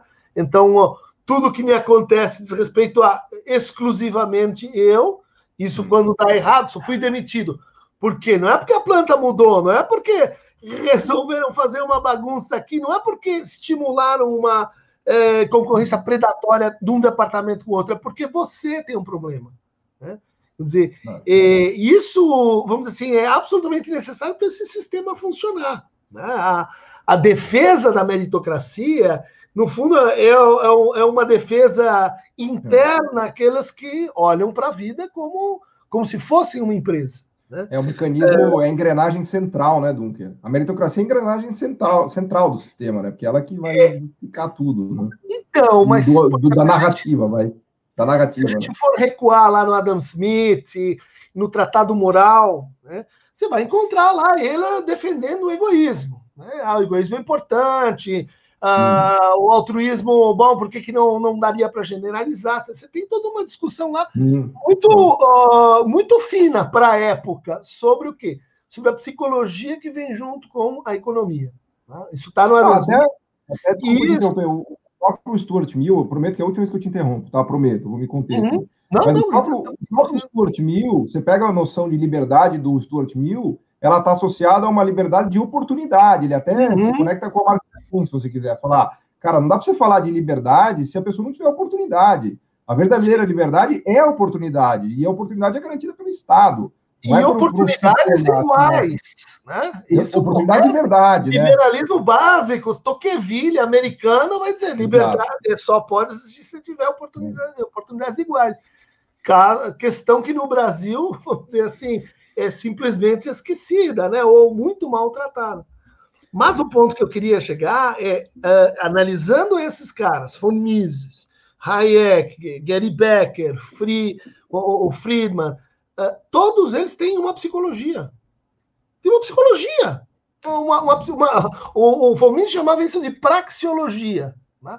E tem lá os axiomas, as, os conceitos e tal. E a gente vai estudar o negócio, o negócio está tudo errado. Está tudo errado. Mas Assim, Christian, pode continuar se você quiser continuar nesse tópico. Vai lá. Equivocadas. Né? Mas, voltando à pergunta, né? Quando não, Christian, continua. Pode, não, pode acabar com a praxeologia aqui, se quiser. Do, do neoliberalismo, etc. Eu digo, você conhece o neoliberalismo do ponto de vista em que ele não é só uma teoria econômica. Ele é uma teoria psicológica embutida e uma versão moral da economia. E então, é, quando, quando o pessoal, ah, como Samuel Pessoa, escreve uma crônica dizendo a economia chegou num ponto em que só há uma teoria, e é a verdadeira. é essa. E ele quer fazer ciência. E quer, quer fazer isso, parece aquelas loucos lá na virada do século XIX. Olha, descobrimos Gente, tudo sobre o cérebro, só falta. Eu devia ter feito uma vinheta para o Christian, cara. Ô, Christian, você merece ah. uma vinheta. Eu não fiz. Isso aqui agora foi, foi bomba de hidrogênio. Isso aqui foi fantástico. Mas eu queria, eu queria levar um pouquinho a conversa para algo que está surgindo no chat, que acho que tem a ver com isso que você está colocando, que diz respeito ao que acontece com o sofrimento quando a gente sai do condomínio e começa a entrar nas comunidades. Né? Então a gente vai para as comunidades periféricas, para as pessoas de baixa renda, e o pobre no Brasil nunca teve direito a ter depressão, nunca teve direito a ter doença psíquica. Né? Em geral é tratado como é, preguiça, como falta de vontade. Moral. E algo. Você Oi? muda do psicológico para o moral. Exato. Exato. E aí por isso que o Brasil não cresce, né? E toda aquela ideia novamente do estilo corporativo de mensurar, né? Aquela ideia da lógica do desempenho a todo momento. E, e eu queria que você refletisse um pouco com a gente, porque o Preto Zezé veio aqui algumas semanas, e, e, eu acho que essa discussão ajuda a iluminar várias correntes de transformação no país, do ponto de vista social e político. E ele usou uma imagem que eu achei muito rica, que ele disse o seguinte: você chega na comunidade, tá o cara no bar bebendo. Aí você chega para ele e fala: pô, mas você não trabalha? O cara fala: minha mulher me deixou, não consigo largar a bebida, eu tô aqui gastando toda a minha grana, não vejo mais meus filhos. Passa o pastor do lado dele e fala: falta Jesus no teu coração, meu uhum. amigo. Ele se sente parte de uma comunidade, ele se sente reconhecido, ele, ele é colocado num lugar onde ele tem uma função, e é aquilo se dele, torna. Né? É o condomínio é, dele. Exatamente, uhum. ele cria uma outra, né, uma convivência que a gente, que as pessoas de alta renda buscam em condomínios de alto padrão. E de repente isso se transforma num processo coletivo que começa a ter efeitos do ponto de vista sistêmico, né, nas, na política e assim por diante. Como que você desloca essa lógica do condomínio para quando ela vai né, para a sociedade, principalmente periférica? Legal você ter feito essa, essa colocação, porque o livro ficou conhecido como um livro sobre condomínios quando ah, o argumento é de que existiria uma mesma estrutura que toca ao condomínio, mas também ao shopping center, eles começam hum. com a mesma empreiteira, a mesma coligação de proposta, enfim, é, é, parte da mesma forma de vida. Mas crescimento exponencial de favelas, comunidades. Mesma época. Né? Mesmos procedimentos, o Estado se demite, transfere, transfere isso para um, um gestor local, que é um síndico, depois vai lá e pune, uh, achaca, uh, formação de formas de sofrimento num lugar que tem muros, tem muros simbólicos, né? É do asfalto para a comunidade e para a prisão. A prisão é o quarto, quarto uh, a quarta variante ou figura dessa lógica. Né? O Brasil se tornou terceira população mundial em aprisionados. Isso segue, vamos dizer assim, uma, uma mesma lógica. Uma das melhores críticas que eu recebi a esse trabalho é, é de que, olha, você está dando nome para uma coisa que, tudo bem, representa uma coisa da lógica do Brasil, mas é um nome dado pelos ricos. Né? Não é a lógica da, da favela, não é a lógica da prisão. Você deu um nome de lógica do condomínio, como se. E essa então, é a estrutura tipo, é a estrutura fundamental. Né? E acho que essa é uma crítica que tem, que tem toda a razão. E, por outro lado, é, ajuda a entender por que, que a gente tem esse fenômeno de é, inversão de interesses. Né? dizer, de uma população que deveria e poderia uh, se organizar de outra maneira, de forma mais comunitária mesmo, mas que pensa a partir da lógica de condomínio, que pensa e incorpora uma religiosidade, por exemplo, instrumental, como o neopentecostalismo de, de, de, eh, de resultados.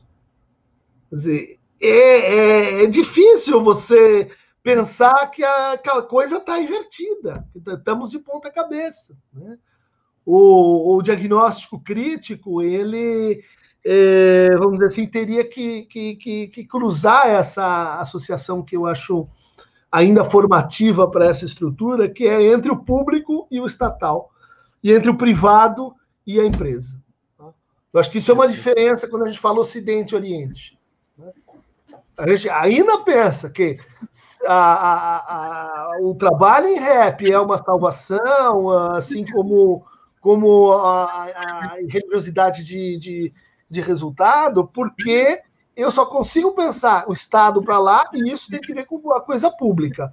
O que não é público tem estrutura de empresa e pronto, toca o pau. Não tem lugar para o comum. Né? Não tem lugar para escuta, coisas que são de interesse público, mas que tem a ver com o privado, tem a ver com as pessoas, com o não estatal, se a gente quiser. Né? Eu estava lendo essa semana, Christian, que nos países que eu, eu brinco aqui com o Elias, dentro da, dos meus conceitos, que as sociedades como China, Coreia, elas são mais corporatizadas. Né? Então, elas têm uma adesão maior àquilo que é o coletivo como objetivo final, né? e não necessariamente atender algum interesse pessoal, individual. E aí, essa semana saiu uma discussão num blog que chama Developing Economics, é um pessoal é, focado em desenvolvimento, em trabalhar questões que geralmente a corrente central não quer analisar, que é a questão da economia dos cuidados. E o que essa pandemia revelou, principalmente uhum. né, num país como a China, é que eles mobilizaram um literalmente um exército de servidores sociais que foi montado desde o final lá dos anos 80, quando uhum. teve a privatização uhum. das empresas estatais que faziam isso, mas eles se organizaram em comunidades. Né? Então a comunidade tinha uma infraestrutura que levava, pegava a pessoa do aeroporto, levava até em casa, ia constantemente fazer compra para as pessoas que estavam isoladas e assim por diante. E a gente vê que quando você vem para o Ocidente, essa ideia de uma comunidade forte, estruturada, capaz de responder a crises nessa rapidez como eles fizeram, é, é absolutamente impensável.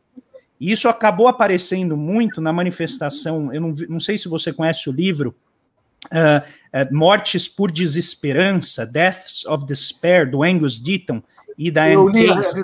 Uhum. Ele é um prêmio Nobel né, de economia, e eles estão mostrando isso, que a, a falta desse elemento do cimento social né, que eles chamam de capital social, acho o nome terrível, né, e vai exatamente na linha do que você está criticando, né, de dar o nome de capital social, isso estaria por trás, inclusive, de um aumento dessas mortes por desesperança.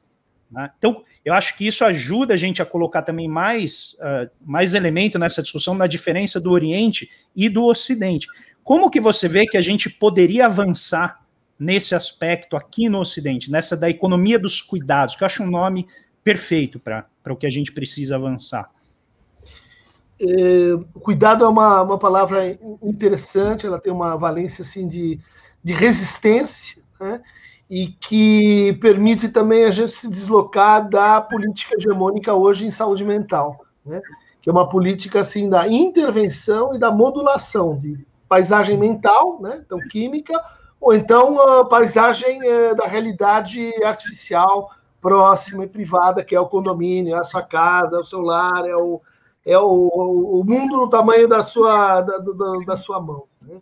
Eu acho que a saída eh, passa pelo comum. Né? E o comum ele é também um princípio de cuidado, proteção e, vamos dizer assim, resiliência, até onde a gente pode usar essa palavra, uh, psíquico. Né? O, o, o sentimento de luta de todos contra todos, a hipótese que foi no meu entender, foi hipótese eleitoral vencedora. Não foi Bolsonaro, foi hipótese de que o outro é um sacana, de que o outro é um corrupto, e seja lá quem for o outro. Né? Dizer, essa generalização ela justifica que eu seja também. Minha educação depende da sua.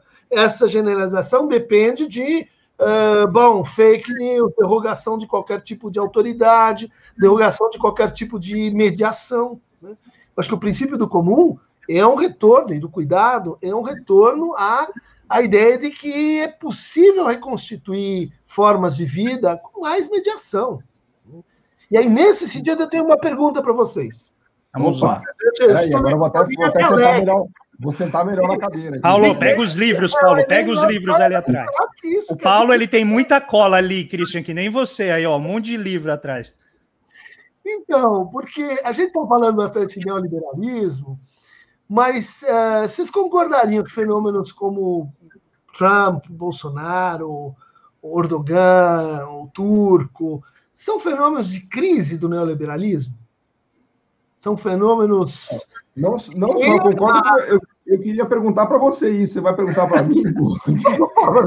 Agora, ô Paulo, seria o momento. Vamos para os comerciais, né? Aí a gente reflete. Eu comento, eu posso comentar. Vai lá, Elias. Pergunta. 2008, quando a bolha imobiliária americana uh, surgiu e tal, você tinha todo o consenso de Washington há anos dizendo, então deixa quebrar. E eles foram lá, intervieram os bancos, salvaram os bancos. Não acabou ali o neoliberalismo? Sim. É... Antes do, antes falar. Vocês estão roubando nos números, vocês estão roubando na teoria. Vocês estão...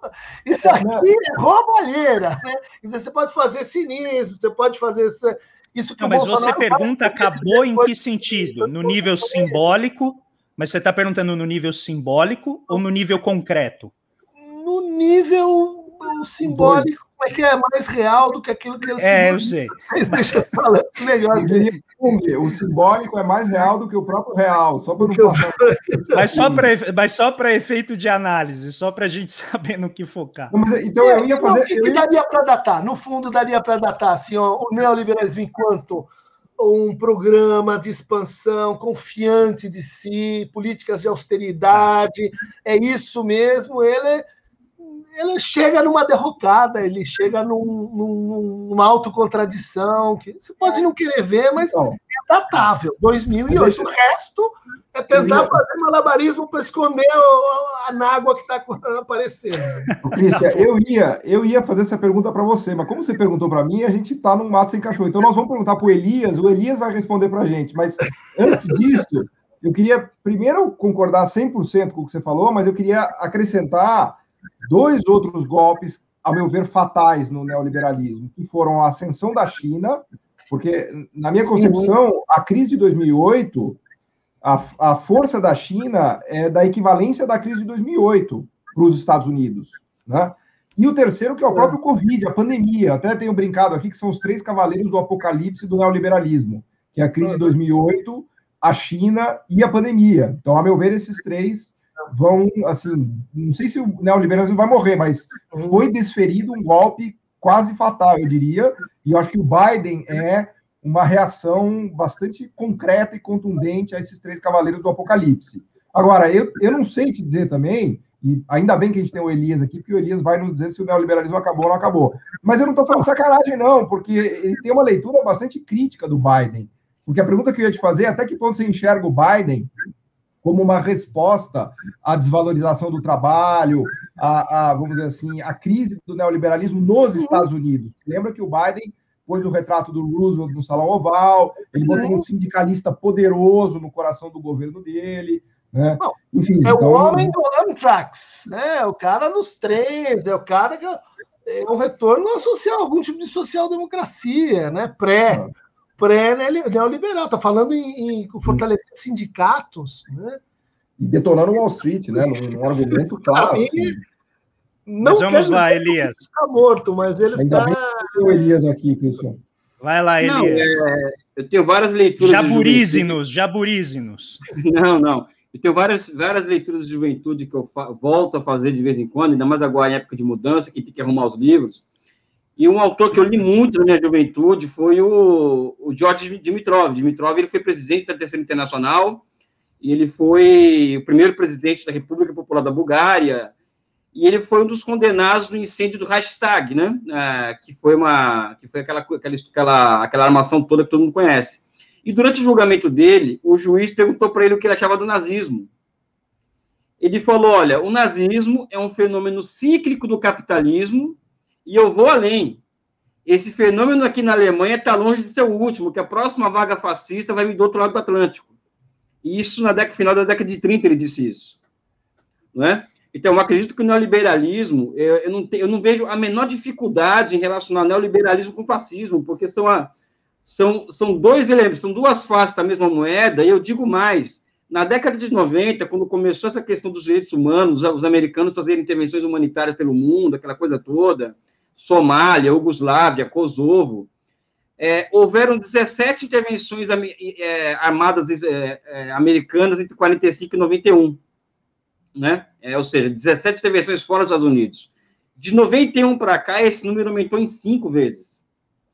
Ou seja, existe, eu acho que uma, existe, eu acredito, Cristian, uma ditadura militar global exercida pelos Estados Unidos e que isso reverbera, vamos dizer assim, para os sistemas econômicos.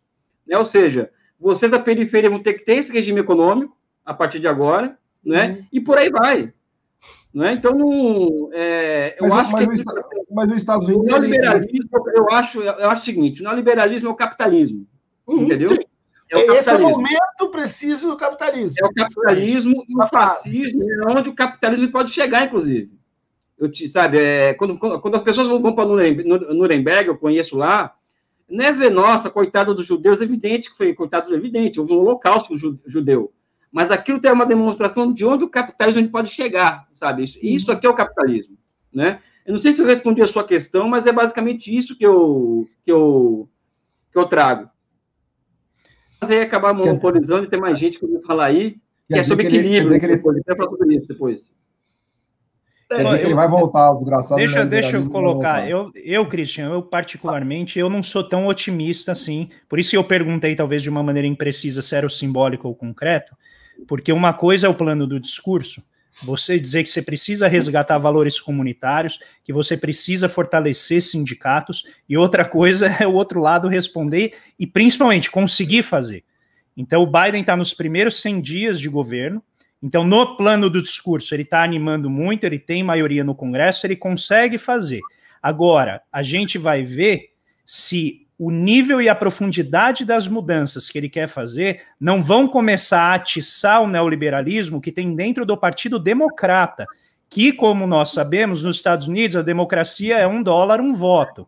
Então, ainda a mesma estrutura que financia republicanos também financia democratas. A gente não pode ter nenhuma ilusão né, quanto aos democratas serem bonzinhos. Eles têm uma agenda reformista que vai mais na direção da coletividade, mas a gente sabe que os interesses ali por trás são muito fortes. E o Elias coloca muito bem a questão geopolítica que todo mundo sabe governa efetivamente a política nacional norte-americana. Então eu vejo com bons olhos a repartição da riqueza que o Biden está tentando fazer. Mas a minha dúvida é se essa repartição da riqueza não seria uma forma de você acomodar os ânimos no momento de inflamação do modelo neoliberal uhum. puro que, né, que os Estados Unidos estavam vivendo, e você consegue encontrar o que seria uma terceira, terceira via negociada. Mas uhum. todos esses pontos que você está levantando aqui, na minha visão, não vão sumir a questão do modo corporativo de regular a vida, de regular o prazer, de regular a percepção de existência pessoal que eles têm lá. Eu não vejo isso mudando no médio prazo. Talvez a mudança simbólica, com o tempo, se traduz em mudanças né, efetivas, mas eu, nesse ponto, sou né, mais pessimista. Não, não, concordo contigo, não, é, não era nesse sentido de que vamos superar o capitalismo, mas não, uma zona de transição antes de, uma, de vir uma forma provavelmente pior. Né? Nessa zona de transição vem o volta o fascismo, eh, volta, sei lá, eventualmente outras outras alternativas que a gente pode pegar sim, sim. Com, com, lupa, né? Dizer, opa, interessante, né? Porque aparece no ponto de, de, de mudança, né? Sim. Wallace, você tem um pitaco tem. aí para dar? Não, sobre, não, eu queria, eu queria, eu queria fazer uma outra reflexão. Eu vi uma entrevista do Dunker lá no Brasil, de fato, eu acho, eu já estava lendo uh, ontem, acho que foi ontem que eu li, estava lendo algumas entrevistas suas, que tem uma que você fala sobre, tem uma questão seguinte, ele fala assim, olha, sobreviver um momento como este agora não é pouca coisa, né? É, e é, e aí vem uma questão que se a questão do, do, ninguém tem vida plena, feliz, como sempre, sempre tem, vai ter dificuldades. Uhum. E são momentos de você tirar aprendizado, aprender com alguma coisa, né? E, e, e, só que na pandemia agora, o sofrimento ele é diferenciado também, né? Vários indicadores já mostraram que, por exemplo, pessoas pobres, né, estão morrendo mais do que pessoas de classe uhum. média, né? Por outro ponto, a taxa de desalento, né, que são pessoas que desistiram de procurar emprego, ela aumentou de forma brutal né, de 1,8 está em 5,6, ou seja, são pessoas que não têm mais esperança nenhuma. É, eu estou citando isso porque, assim, eu lembro, cara, uma vez eu assisti, o, quando eu assisti o, o é, Filadélfia, né, com Tom Hanks, tem muito tempo, tem uma frase que ficou marcada muito na minha vida, assim, né, que ele fala assim, olha, a morte social antecede a morte física, né, porque a exclusão, a dor, o sofrimento, muitas vezes, a pessoa está morta socialmente e a, a, física é um passo ali, né? Então eu queria fazer que você fizesse uma reflexão sobre essa conjuntura, como que ela é difícil, mas não difícil e é difícil de, de forma diferenciada, porque veja, eu sou professor, nós aqui somos classe média, uhum.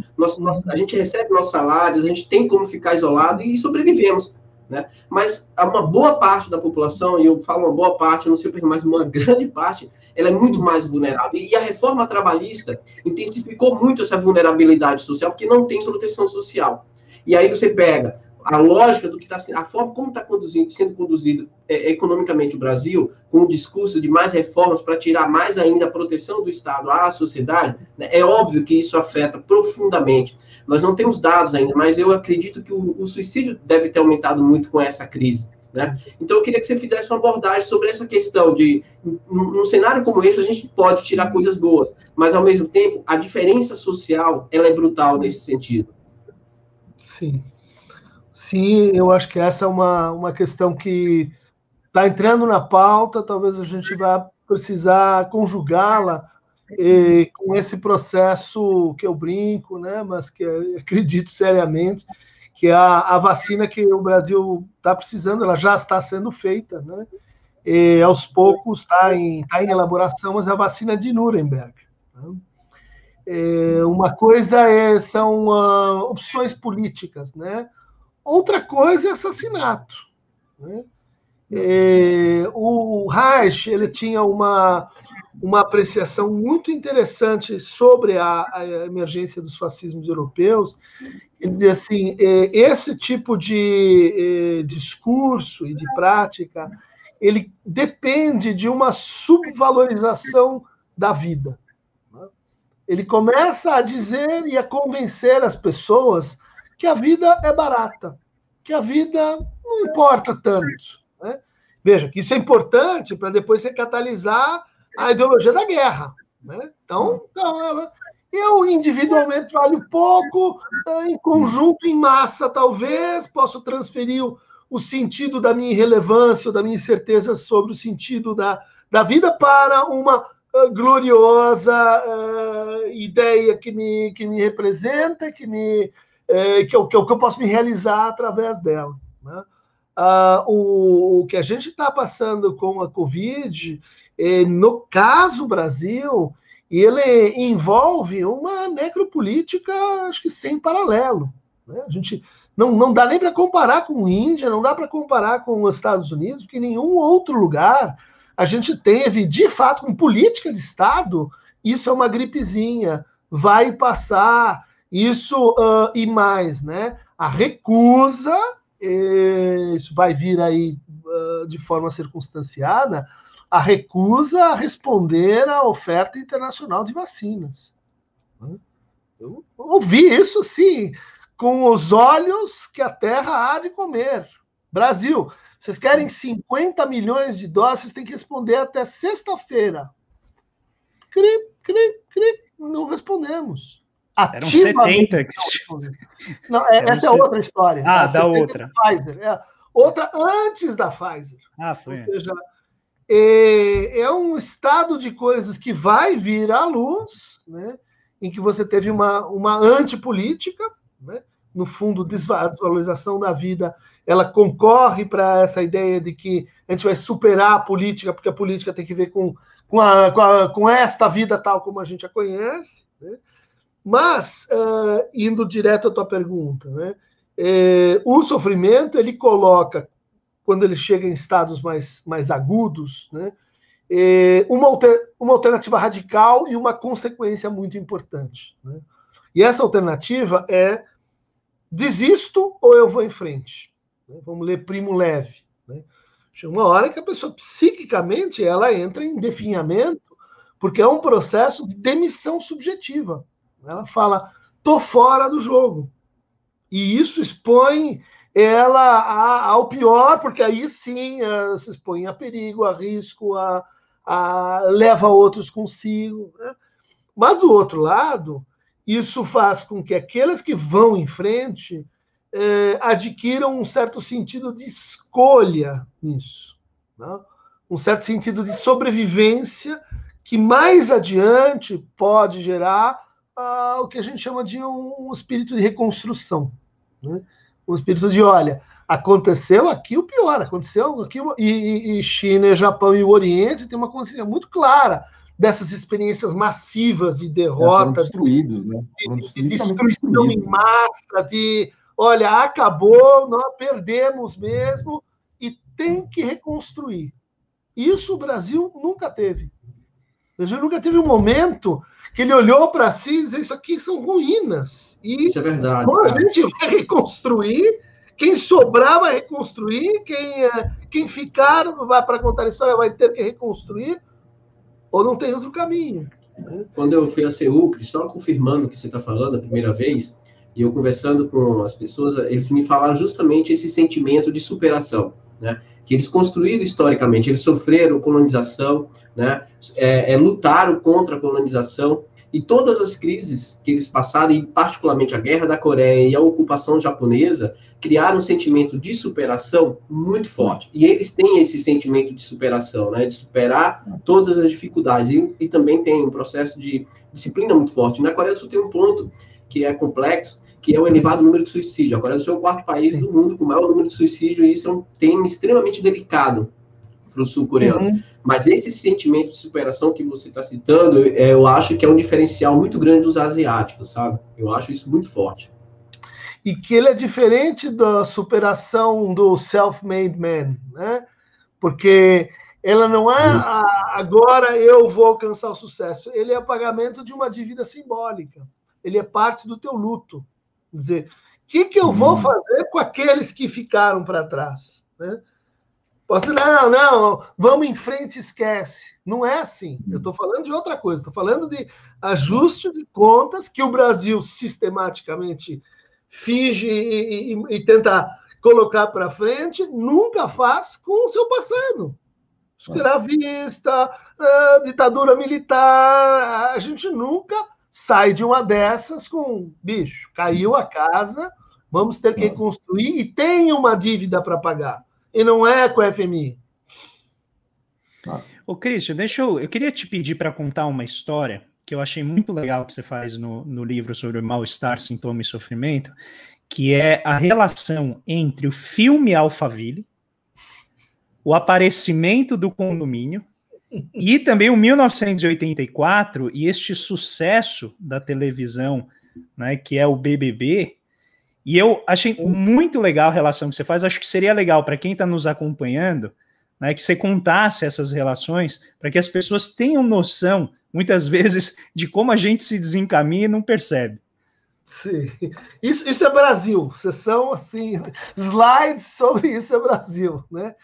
Em 66, o, o Jean-Luc Godard é, faz um filme que é, se tornou paradigmático para a novela Vague, que é Alphaville. Né?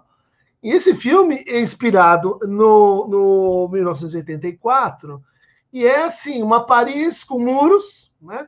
Mas onde tudo funciona, tudo é perfeito, tem um computador, né? Que é gerido, gerido, né? Por um por um cientista que é o Von Braun é, e, e, e o, o cientista tem uma filha e tudo funciona perfeitamente como um condomínio. Uma cidade é, um, é uma versão de uma, de uma utopia, na verdade, uma distopia. Tá? Mas tudo funciona perfeitamente com uma é, cláusula de exclusão, que é não pode ter palavras que evoquem afetos. Você usou uma palavra, amor, tá? preso. Uh, saudades também não pode. Uh, medo não pode. Só não pode ter emoção. Né? Então é uma uh, sociedade robotizada, onde tudo enfim, funciona, mas, mas a gente perdeu algo do, do humano. E aí tem um assassinato, chamam um detetive, né, o Lemmy Caution, e ele vai investigando e ele vai contra-atacando né, o, o, o von Braun com uh, Nietzsche, Borges, uh, Brevet, e, e o, a máquina vai ficando assim, eh, vai, vai sendo destruída pela poesia, né? Enfim, Godard, anos 60 e tal, e daí ela fica com a mocinha e tudo, mas o filme é uma distopia, foi um sucesso, né? Acho que ganhou Cannes e tal, uh, parodiando, ironizando que você tem pessoas alfa, você tem pessoas beta, você tem pessoas gama, e a vida e a sociedade perfeita é assim. Cinco anos depois, uma incorporadora brasileira pega um terreno, decide montar uma cidade artificial com muros, bacana, super funcional, e o nome que os caras dão é Alphaville não é uma piada de mau gosto. É, assim, e isso porque eram os melhores, os que podiam pagar, os que iam para a França, falavam francês, liam uh, Huxley, é, é, é Orwell. E daí você vai de peito aberto para a alfa, que é o seu lugar como um ser alfa superior. Cara, isso, isso é, é, olha, a gente tem que relativizar as críticas do Gessé de Souza, mas no atacado ele acaba acertando alguma coisa, porque não é possível, né? Uma, uma elite como essa que precisa de operário, pô. Não dá. É, é bom, é, é, o, o curioso é que essa lógica é, no fundo, já o princípio do Big Brother Brasil, né? O grande irmão, também formado na mesma na mesma chave, que, que é o início das práticas de na vida, no trabalho, você tem que pensar segregativamente. Quem vamos eliminar? Né? Quem você vai deixar de fora? Isso levou até Bolsonaro e essa democracia customizada. Né? Quem nós vamos deixar de fora a democracia para a gente fazer a nossa democracia aqui? Só nós. E as pessoas aceitam por quê? Porque vai, vai devagarinho, né? Vai, vai, devagarinho, você não vai percebendo que, que é instalação de uma mesma loja. Perfeito, Cristian. Muito obrigado. Eu, eu queria muito essa explicação, porque eu gostei muito quando eu li no texto. Vou pedir, então, para cada um de nós fazer breves considerações. A gente tem um momento lírico aqui no final, Cristian, em que eu sempre trago alguma poesia para a gente levar para a semana. Então, mas antes disso, eu gosto de deixar a gente fazer algumas considerações finais para o momento lírico ser efetivamente o fechamento. Então eu vou começar primeiro com a bancada, eu te deixo por último para você descansar também um pouquinho. Paulo Gala. Não, fantástico. Queria agradecer a presença aqui do Christian, essa aula que ele deu para a gente é, é, incrível e, e é, nós como economistas, né, muitas vezes ficamos só no economicismo, né, mas a gente aqui no programa a gente tenta se libertar dessa dessa prisão né, de pensamento e, e é importantíssimo pensar nas consequências de tudo que a gente fala aqui do econômico, mas para a vida humana, obviamente, para questões da, do, do, psiquismo, da doença, da depressão, das dificuldades, ou até mesmo como trouxe o Silvio aqui, ou até mesmo não, principalmente, né, para as questões de racismo, de Quer dizer, o, o neoliberalismo, é, entre nós economistas, ele atrasa o desenvolvimento, ou não deixa a sua renda per capita aumentar, ou o país não faz o que a gente chama do catch-up, né, que é alcançar os países ricos, mas isso é uma visão extremamente limitada de economista. Né? Na verdade, o neoliberalismo ele mata pessoas, ele deixa as pessoas em depressão e ele agrava o racismo, quer dizer, é isso que interessa, na verdade. Né? Então, só agradecer ao Christian nos ajudar né, a trazer essa luz aqui para que a gente não fique condenado a ser economistas, né? Que é uma coisa que eu não desejo a ninguém, né? Eu tenho cada vez ficado mais crítico em relação aos economistas, né? E, e mais admirador dos outros pensadores, né? Então, eu te agradeço muito, Christian, pelo seu trabalho, pela sua disposição de vir conversar aqui com a gente. Obrigado. Obrigado, Paulo Wallace Moreira. Cara, assim, é, toda, toda vez que a gente tem um convidado externo, eu acho que é uma live muito superior por tudo aquilo que a gente incorpora de aprendizado, né? É porque a gente é economista, né? É isso que eu tô falando. É, então, principalmente quando não é da área de economia, Paulo, como você falou, sabe? Quando é da área de economia, né? Tudo bem, cara. Mas a gente brinca, Doug, que aqui um dos grandes males do, do Brasil é ter muito economista, entendeu? O Brasil precisaria diminuir o número de economistas, cara, porque economista é um problema. Mas, assim, eu, eu agradeço muito. Wallace, só dizer, ontem meu sobrinho chegou para mim e falou assim: tio, eu quero fazer economia. Eu falei, mas não vai. Eu te proíbo. Você está proibido. Já encaminhei para a área de biológicas. já. Justiça seja feita. O Elias não é economista. Bem, é, levantou a mão aqui com razão. A gente adora ele. Mas, assim, foi um aprendizado muito grande. Sempre quando nós temos convidados, eu não vou citar nomes aqui, mas, né, porque eu posso ser injusto com alguns dos nossos convidados que já vieram aqui mas com todos que vêm aqui. Eu, particularmente, tenho certeza que o Elias, o André e o Paulo aprendem muito, nós aprendemos muito.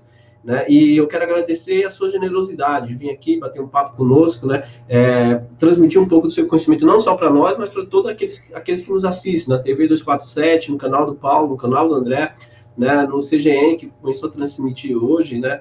Mas muito obrigado mesmo, foi um aprendizado muito grande, né? É, principalmente vindo de um grande intelectual como você. E vocês, toda semana eu aprendo com vocês, cara. Na verdade, todos os dias, a gente fala todos os dias, cara. Minha, minha, minha, minha companheira sempre fala, ó, eu não aguento mais falar com você, cara. Para de mandar WhatsApp. não, continua mandando, Wallace. Eu gosto. Elias Jabur. Christian, é, é, é, não sei se é bom ou ruim que eu vou te dizer, mas quando eu leio as suas linhas assim, imagino assim, estou lendo uma pessoa descrevendo o final do Império Romano, né? Sim. Você... Não, você fala do Império Romano, foi isso, ou seja, as pessoas sabiam que aquilo já não já não estava dando mais nada, né? Ou seja, já não, aquela sociedade já tinha se esgarçado, mas ninguém sabia o que viria depois.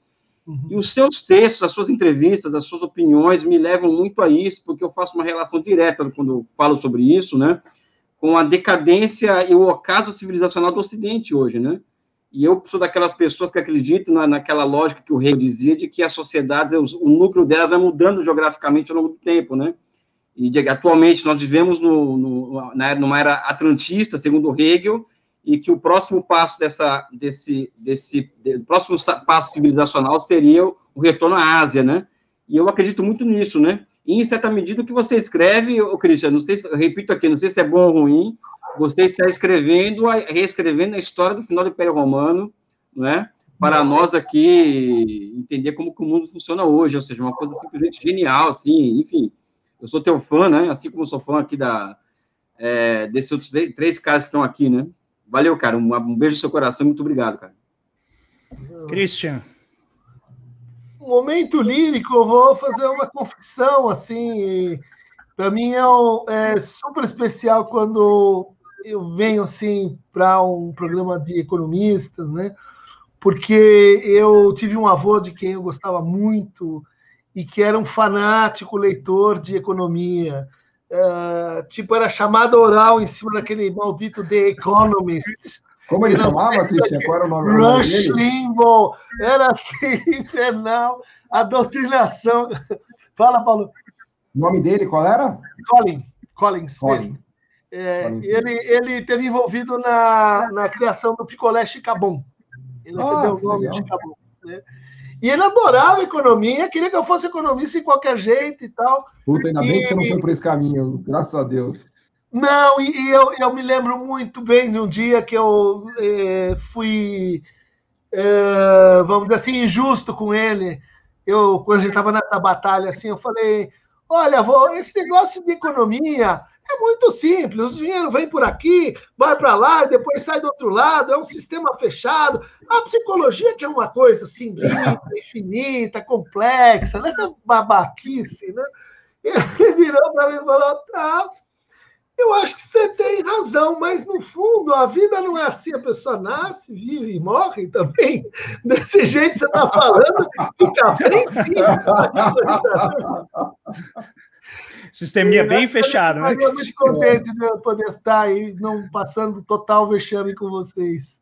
De forma alguma, Cristiano. Você veio a brilhantar demais aqui a nossa discussão. Eu só tenho a sentir porque a gente precisa terminar mas evidente, o convite já está feito automaticamente, sempre que você puder, quiser voltar, as portas estão abertas.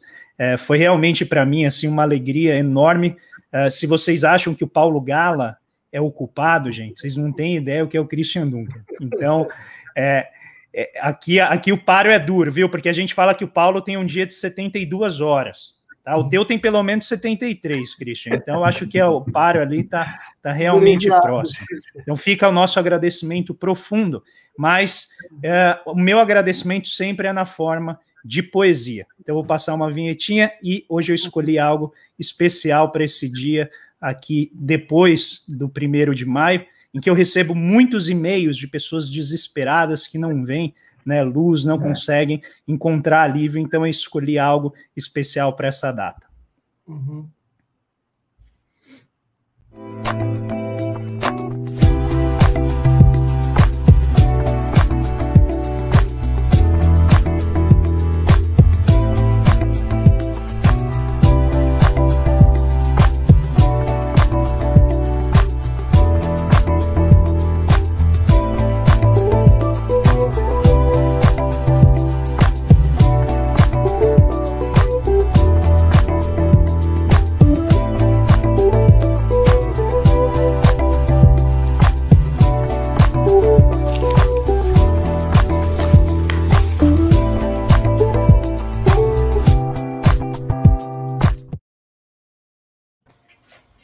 Bom, para nossa nosso momento lírico de hoje, deixa eu fechar aqui o microfone do Elias.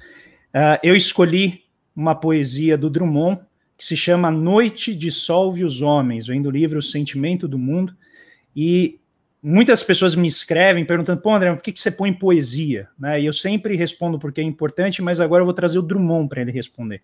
Ele dizia que a poesia resiste à falsa ordem que é a rigor, barbárie e caos, esta coleção de objetos de não amor. E ele escreveu essa poesia como algo que representa um pouco aquilo que a gente sempre passa toda semana, que é a sensação de que isso não vai passar. Então diz: a noite dissolve os homens. A noite desceu. Que noite! Já não enxergo meus irmãos, e nem tampouco os rumores que outrora me perturbavam. A noite desceu nas casas, nas ruas onde se combate, nos campos desfalecidos, a noite espalhou o medo e a total incompreensão. A noite caiu, tremenda, sem esperança. Os suspiros acusam a presença negra que paralisa os guerreiros. E o amor não abre caminho na noite. A noite é mortal, completa, sem reticências. A noite dissolve os homens. Diz que é inútil sofrer. A noite dissolve as pátrias apagou os almirantes cintilantes nas suas fardas. A noite anoiteceu tudo. O mundo não tem remédio. Os suicidas tinham razão. Aurora, entretanto eu te diviso ainda tímida, inexperiente das luzes que vais acender e dos bens que repartirás com todos os homens.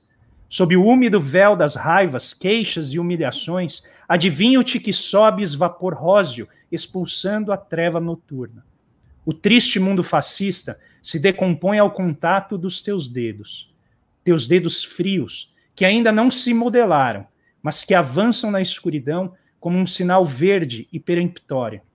Minha fadiga encontrará em ti o seu termo, minha carne estremece na certeza da tua vinda.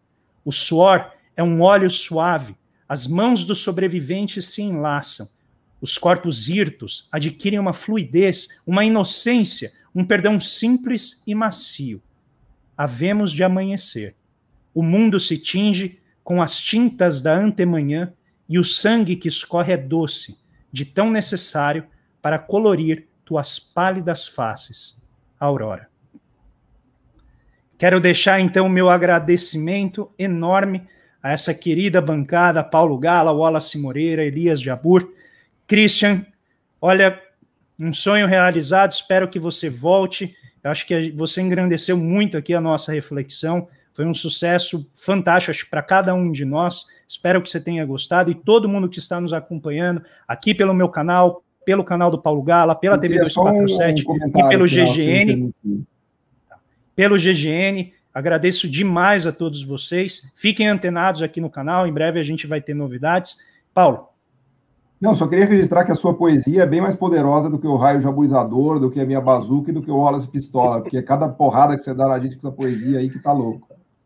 Mas só deixar claro, assim, o raio é drummondizador.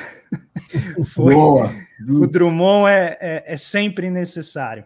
Gente, fiquem muito bem. Boa. Um beijo no coração de todos e todas. E a gente se vê na semana que vem. Um grande abraço, fiquem muito bem Valeu. e fiquem sempre né, saudáveis e a salvo.